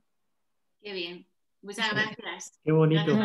Qué bonito cuando has hablado del aire libre, se me olvidó antes hablar también porque la naturaleza, claro, es un pedazo de, herramienta que tenemos también para sanar y para mí lo ha sido eh, en el proceso de duelo también. Eh, los paseos entre los árboles, el sentir que ahí también nos conectamos a otra cosa y, ahora que estamos con tanta necesidad, ¿no? hemos tenido que estar ahí más, más alejadas del aire libre, de la naturaleza, pero me parece, sobre todo también para los niños y las niñas, un lugar en el que sanamos y conectamos con otras cosas también es importantísimo. Y no es un tema menor, es tan importante como otros. ¿no? Por eso cuando hablaba Ramón Valles antes así del método poético, es que coexiste junto a los demás métodos. No es ni, no es ni mejor ni peor, es igual de importante. Está el método científico, el académico, el tal, el no sé qué, y está el método poético que tiene que ver con todas estas cosas que son igual de valiosas, igual de valiosas y merecen que las miremos desde ahí, ¿no? También.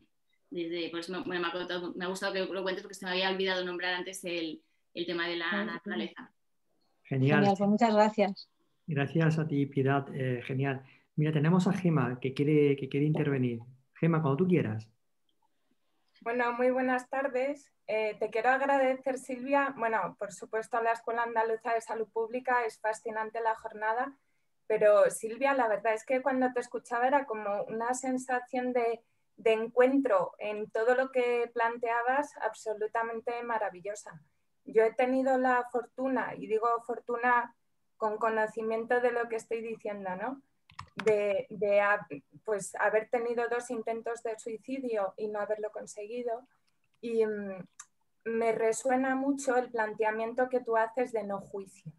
¿no? Creo que esto es fundamental porque cuando encuentras un momento de tu vida en el que no solamente es que estés sufriendo, es que te da la sensación de que no tienes recursos ni personales ni sociales siquiera, ¿no? De acompañamiento, pues es un poco difícil. Entonces, eh, de verdad que te lo quiero agradecer y además la forma tan natural que tienes de, abarcar el tema de la muerte, que creo que es fundamental porque te hace encontrar una resignificación de lo que estás haciendo con tu vida, con tu día a día y, de verdad que es súper admirable la valentía que tienes al plantearlo desde, desde ese espacio. Yo me voy a sumergir en tu web, me voy a empapar de, todo lo que planteáis porque creo que es absolutamente necesario por un lado y fascinante. Además, eso de repensar la muerte creo que ofrece muchísimas posibilidades para la vida, así que de verdad que gracias. Muchas gracias a ti por compartir esto. Yo, bueno, yo me voy, a lanzar a preguntarte, y solo si te apetece, si te apetecería compartir algunas de las herramientas que a ti te han ayudado y que te, y que te han servido ¿no? en ese camino.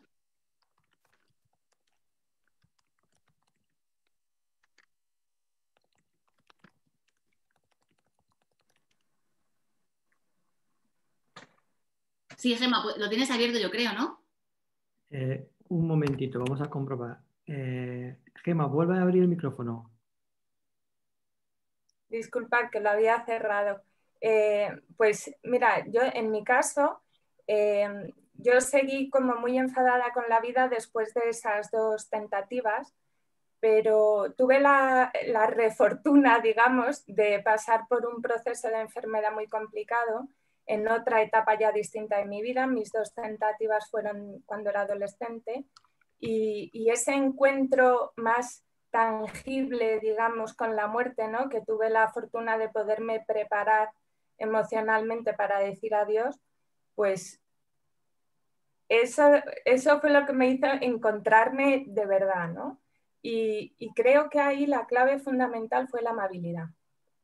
La amabilidad con, con todo lo que aparecía, con, con todas las dificultades horribles, con todos los arrepentimientos que me llegaban de un montón de cosas y sobre todo la sensación cuando entré en quirófano de, ir en paz conmigo misma y tener esa confianza en que ocurriese lo que ocurriese, estaba bien y lo digo con todo el respeto y con la dificultad que sé que entraña para muchas personas esto. Pero además yo tenía dos hijos que eran pequeños en aquel momento, esto fue hace seis años, y jolín, es que realmente confiaba plenamente en su capacidad para afrontarlo, ¿no? Y, me parece que, mirar de esa manera es importante. Mirar más allá del dolor que supone afrontar algo tan duro, ¿no? Creo que la amabilidad es fundamental y el encuentro honesto con uno mismo, ¿no? Haciendo una exploración así como curiosa, como de descubramos qué hay. qué maravilla, Gema, muchas gracias por compartir eso, porque has comentado, bueno, es que para mí siempre es increíble, ¿verdad? Cuando se escucha, porque te das cuenta es que al final, como la vida te pone otra vivencia, otro camino, para que tú conectes con otras cosas, y es, fascinante, ¿no? Mm. Y, cuando hablas de la confianza y de cómo tú, eh, hay un momento que te entregas a, esa vivencia, a esa situación y confías, y además confías en que mm, tus hijos van a tener también las herramientas para salir. Justo ayer yo estaba hablando con eh, con un padre que bueno, está en un proceso en el que su hija, pues también pues hay un tema de miedo también a, que, pues, bueno, por ideas suicidas y esto, ¿no? Y, hablábamos de esto, de lo difícil que es, pero también de ver que a pesar de que haya todo eso en esa persona, de dificultades, de temas de, problemas de salud mental, que no se nos olvide nunca que también ahí esa persona sigue teniendo unas capacidades y unas fortalezas increíbles. A veces no lo sabe y no lo sabemos, solo hay que conectar con ellas también y saber que están ahí y confiar. Y, hace su camino y eso está ahí. Cada cual el suyo, como digo, porque más integrada que tengo yo la muerte no la puede tener nadie, con lo cual sé perfectamente que si el final de la vida tiene que llegar ahí, va a llegar, ¿no? Pero que no se nos olvide esta parte de confiar siempre, porque a veces la mirada que tenemos es de, mm, ¿cómo, diría esta mirada? De, no ver las capacidades de la persona, con lo cual esa persona tampoco se las ve.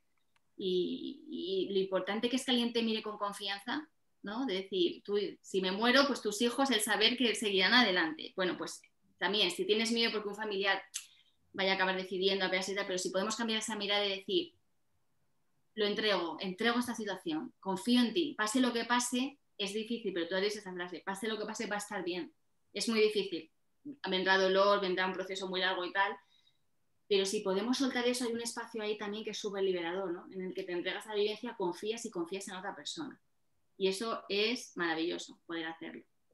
Bueno, gracias Gemma. ¿eh? Por eso te animo a que lleves adelante todo así, con esa belleza y con esa parte sensible, pero con un coraje interior sereno, ¿no? De, bueno, estoy dispuesta a afrontar el, momento en el que me toca estar, ¿no? Y, y, confiar en esas capacidades que a primera vista, pues es como que a veces se resisten un poco, ¿no? Pero, bueno, con espacios así estoy segura de que conseguiremos hacer cosas necesarias.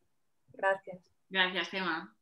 Silvia, tenemos a Salud, que, que nos ha pedido también la palabra. Salud, como tú quieras. Hola, eh, ante todo, gracias Silvia por tu ponencia, porque ha estado muy bien, me ha gustado muchísimo.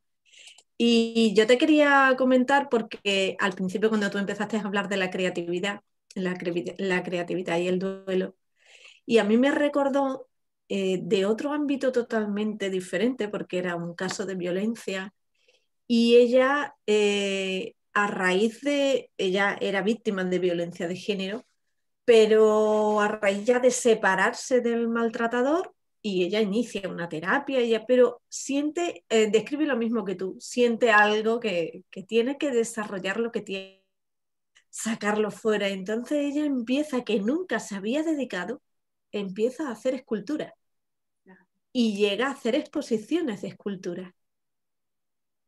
Y era increíble porque incluso lo llevó allí y, se, y, presentó, y ya presentó una escultura suya porque además un vínculo emocional muy grande porque era el desarrollo de ella, de lo, de lo que ella era a lo que de repente esa evolución a través de la escultura. Y, además ella lo, describía así, ¿no? lo necesitaba necesitaba sacar de alguna manera lo que tenía dentro y, era a través de la creatividad. Y quería comentarlo porque me habías hecho recordar eso. Qué maravilla, es precioso. Es que, es que ves, es que siempre hay cosas que siempre hay cosas nuevas que a mí me dejan fascinada. La capacidad de, de esta mujer a través de la escultura reflejarse ya en ese proceso y en esa evolución y en esa transformación de todo lo que ha hecho con su vivencia de dolor es increíble, es precioso. Sí, ella, ella a través, ella lo describe así, eh, esa escultura está su transformación, de cómo ella era, cuando ella te lo explica, entiendes la escultura.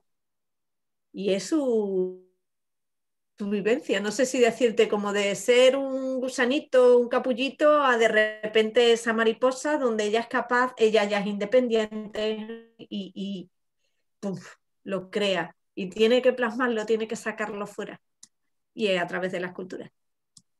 es un proceso de duelo, quizás eh, es otro duelo diferente. No sé si me oís bien porque veo que me está dando problemas. Sí, sí. Te escuchamos perfectamente. Eh, es, un, es un duelo diferente porque, vale, es un duelo diferente porque pienso que es una ruptura con su pasado, con todos sus proyectos que tenía y que, bueno, pues que la vida le, da otra cosa diferente a lo que ella esperaba, romper con todo eso y ella lo hace, lo crea algo nuevo y le pide su mente y su corazón crear algo nuevo. Qué maravilla. Muchas gracias ¿eh? por compartir esto y que es que es tan intuitivo cuando esto sale, cuando se da el espacio y sale, es que está ahí, está dentro, entonces explosiona y, en este caso la creatividad muy vinculada al arte, pero que también a mí hace poco me contaban también pues el tejer una manta, ¿no? en su proceso de duelo con, pues con cosas que le había enseñado la persona que había fallecido y, hacer esos dibujos y esa mantita. O Eva con el tema de Sida tiene una manta de mandalas también que le hizo Lucía, que que a veces es tejer, a veces son cosas muy sencillas, pero en este caso llevado a esa expresión también del arte de, la escultura y que nace de forma tan intuitiva. Precioso. Muchas gracias. Silvia, María José en el chat nos comenta, creo que, creo que hay que hacer una enseñanza sobre la muerte desde que somos pequeños. Yo perdí a mi padre siendo pequeña y me acostumbré a ir al cementerio acompañando a mi madre. Y eso me ha servido para entender que la muerte es parte de la vida. Y una perugullada. Todos los seres vivos morimos. Es innato a nosotros. Carmen, Carmen también nos comenta que los rituales son muy necesarios. Eh, respecto a la primera parte, absolutamente. O sea, eh, esta asignatura pendiente de mm, justo la semana que viene mm, hacemos también un, voy a hacer unas sesiones con el Centro de Formación de Profesorado de Cáceres eh, para profes precisamente para abordar la muerte y el aula, o sea, la muerte y el duelo en el aula. Y yo es donde veo ya que se están abriendo muchas cosas. Es como que ya hay personas que, como que ya están sintiendo la necesidad de que esto hay que abordarlo, ¿no? No, no, no podemos taparlo porque se están encontrando también claro, con todo lo que nos ha pasado y todos estos meses, pues el tema de la muerte del duelo en los niños y en las niñas. Pero también me parece muy valiente que, que se atrevan a, llevar esto, porque a mí me ha pasado muchas veces que nos contactan de algún cole para hacer algo, alguna actividad, pero luego se, se bloquea siempre también. ¿no? En, los eh, niveles directivos se bloquea la actividad y tiene que ver pues conectar con el propio miedo que tenemos los adultos a abordar esto, porque luego los niños y las niñas cuando compartes espacios sobre estos temas es fascinante. O sea, la naturalidad que tienen para abordarlo, lo que podemos aprender, de lo que cuentan, de sus vivencias, y un montón de cosas. He tenido suerte de compartir a veces también, bueno, pues con personas eh, cercanas a, niños que mueren en, la, planta de oncología, me acuerdo, bueno, una vez con varios profesionales que están cerca y padres y madres, y todo el mundo te dice que los niños y las niñas son grandes maestros en, los momentos eh, finales de la vida, en todo su proceso, ¿no? Y, y, tienen una manera muy natural de acercarse a la muerte también, ¿no? Y somos los, adultos los que estamos ahí con ese miedo de restricciones, pero que, cuando se da el espacio para, poder hablar con naturalidad, es fascinante lo que transmiten también y, que están jugando hasta el último momento, que es una enseñanza, cuando me hablaban de esto decía, wow, es fascinante, es fundamental. Hasta el último momento están en el juego, tienen esta capacidad de estar en el momento presente, jugando y disfrutando de la vida cuando llega, pues ya me voy a morir y me voy a ir, pero hasta el último instante. Y los adultos lo que hacemos es perdernos el momento presente todo el rato, porque estamos o culpándonos por las cosas del pasado que no vamos a cambiar, o muy preocupados por el futuro, que, cosas que tampoco vamos a controlar. Y nos salimos todo, el rato de la vida, de este instante que es el único que existe, ¿no? el, momento presente.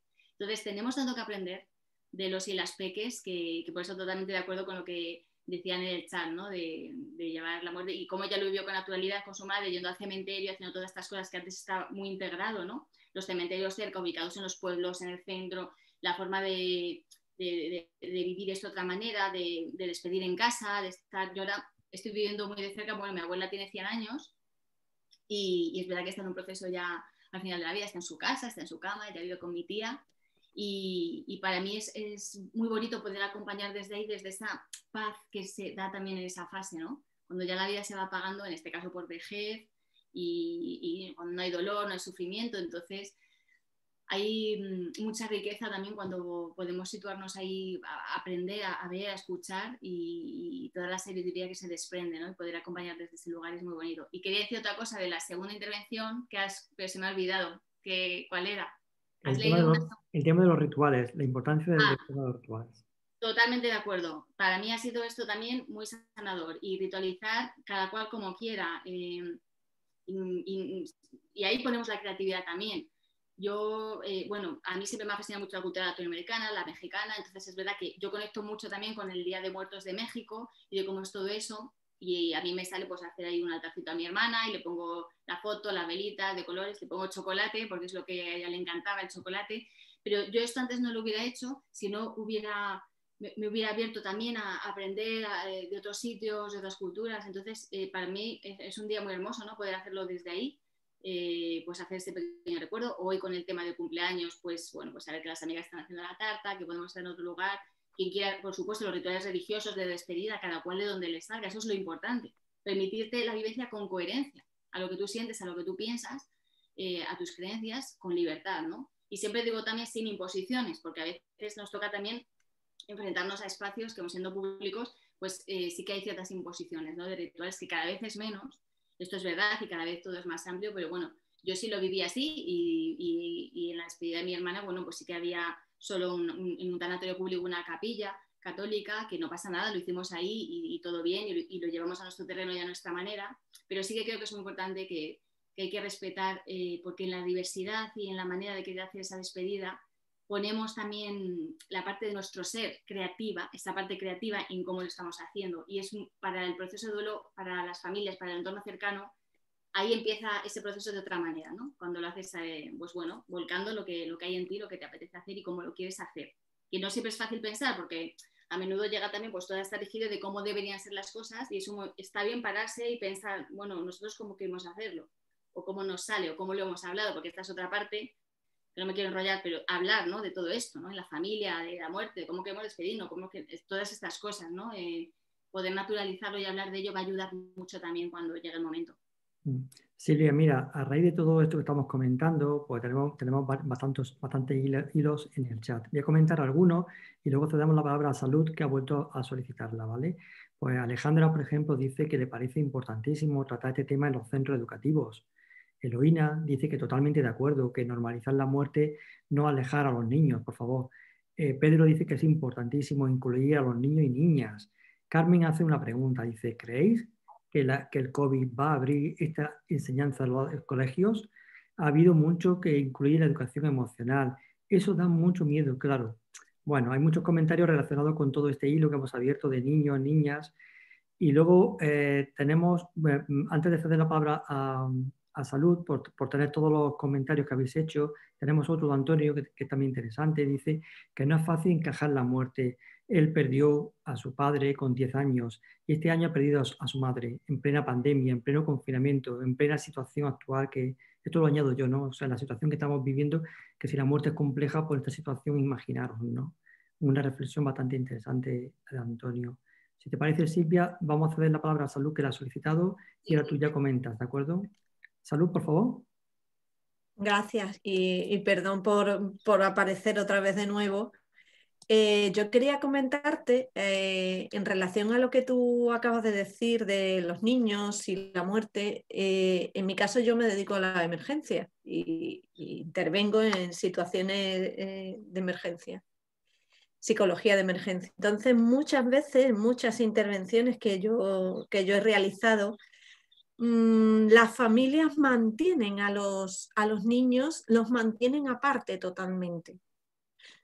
Cuando, tanto en el tanatorio, que bueno, que ahí puede tener un sentido, un niño a lo mejor no aguanta todo el tiempo en el tanatorio y no le, cuesta trabajo eh, estar a lo mejor con mucha gente, em, seguir ese ritmo que se lleva en el tanatorio, ¿no? pero los apartan también eh, del entierro, ¿no? Y a veces he estado, pues, que han fallecido menores y no han podido acompañar al entierro de su hermana o de su hermano y que a lo mejor luego de adultos le hubiera gustado probablemente estar o recordar cómo fue el entierro de su hermana, ¿no? Se aparta, en la actualidad se aparta a los niños, eh, a pesar de que la muerte, como habéis dicho, pues es parte de la vida, y se les aparta totalmente. Y me llama la atención porque yo de niña sí me eduqué, eh, quizás porque mi, mi, familia era más de pueblo y en los pueblos sí se tiene más contacto con la muerte, se va al cementerio o se iba al cementerio, ¿no? Se iba al cementerio todos los domingos, eh, eh, visitabas, quiera que no, visitabas la tumba. Hoy día eso como que se deja de lado, se quita. Totalmente, les apartamos, pero de nuevo porque proyectamos nuestros miedos de adultos y nuestros tabúes eh, a los niños. Y que se integren, que puedan ser integrados es tan importante porque ellos es lo que van a aprender. Según ese modelo familiar, según cómo el entorno se enfrenta a la muerte y el duelo, es lo que va quedando ¿no? en el sistema, en nivel educativo, familiar y tal. Así vamos a Silvia, disculpa, Silvia, activa el micrófono, disculpa.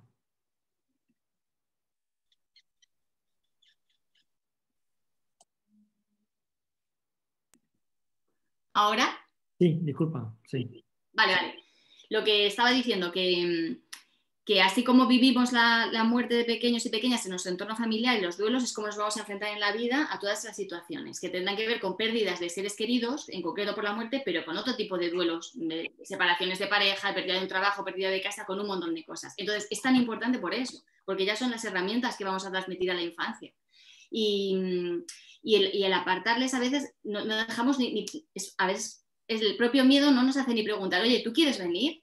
¿Quieres venir a ver al abuelo, a la abuela que está en el hospital, está muriendo, se va a ya sé que estamos en una situación muy especial, pero bueno, en general, ¿quieres venir que vamos a hacer esto? Y a veces se les puede preguntar, según las edades, obviamente, también, pero a veces a los niños les sale muy natural decir que sí. Y me contaban en un colegio que había muerto un niño y toda la clase le salió a los niños que querían hacer una despedida y que ellos idearon hacer algo y, los padres del niño, que eran los que me lo contaban, pues en un momento pues dudaba el centro si había que hacerlo, los padres también tenían miedo porque si les iba a remover mucho, que si era adecuado que, los niños hicieran, y al final se logró hacer y fue una vivencia preciosa para los padres del niño, para todo el entorno, pero la duda venía de los adultos, de si se permitía o no que los niños hicieran lo que querían hacer para despedir a su compañero, pero a ellos les salía de forma natural hacerlo. Y, por eso mm, digo que tenemos que aprender tanto de ellos y, generar esos espacios porque son las herramientas que les estamos dando para abordar en el futuro todo esto. Y, de nuevo los silencios no ayudan. Y, eh, naturalizarlo, integrarlo también para los adultos es muy bonito porque al otro lado los niños sostienen y también ayudan a los adultos si se les deja el espacio. ¿no? Entonces, bueno, hay un intercambio muy chulo. Bueno, Silvia, eh, hemos llegado al final del taller. Yo quiero darte, eh, creo que en nombre de todos los participantes, la enhorabuena. Eh, también quiero eh, mm, dar la enhorabuena a los participantes. Es la primera vez que hacemos un taller con tanta participación, conceder la palabra. Siempre apostamos por el tema del chat porque evitamos las interrupciones. Hemos innovado de nuevo, hemos aplicado nueva tecnología y yo daros las gracias por, por lo bien que lo habéis hecho, por lo participativo que habéis estado y bueno, que ha sido un, placer compartir esta tarde con, con todos vosotros. Silvia, eh, aquí pongo la última diapositiva con la información que tú presentas ahora, si te parece, y te sí. de nosotros, ¿de acuerdo? Vale, ah, bueno, ahí está la web, el, correo, el teléfono de, de Luz de Colores y de todo. Y nada, daros las gracias, me ha encantado compartir este espacio, de verdad. Eh, yo me llevo mucho, ha sido muy enriquecedor, por eso para mí es tan importante saber que al otro lado hay muchas cosas que, que compartir y dar ese espacio. Así que esto me lo llevo y yo creo que que hemos recogido mucho también de, vuestras intervenciones. Así que gracias, José, por toda la parte técnica, los organizadores de nuevo y a la Escuela Andaluza de Salud Pública por contar conmigo con Luto en Colores. Y, y bueno, pues feliz tarde y que seguimos sembrando y compartiendo cositas.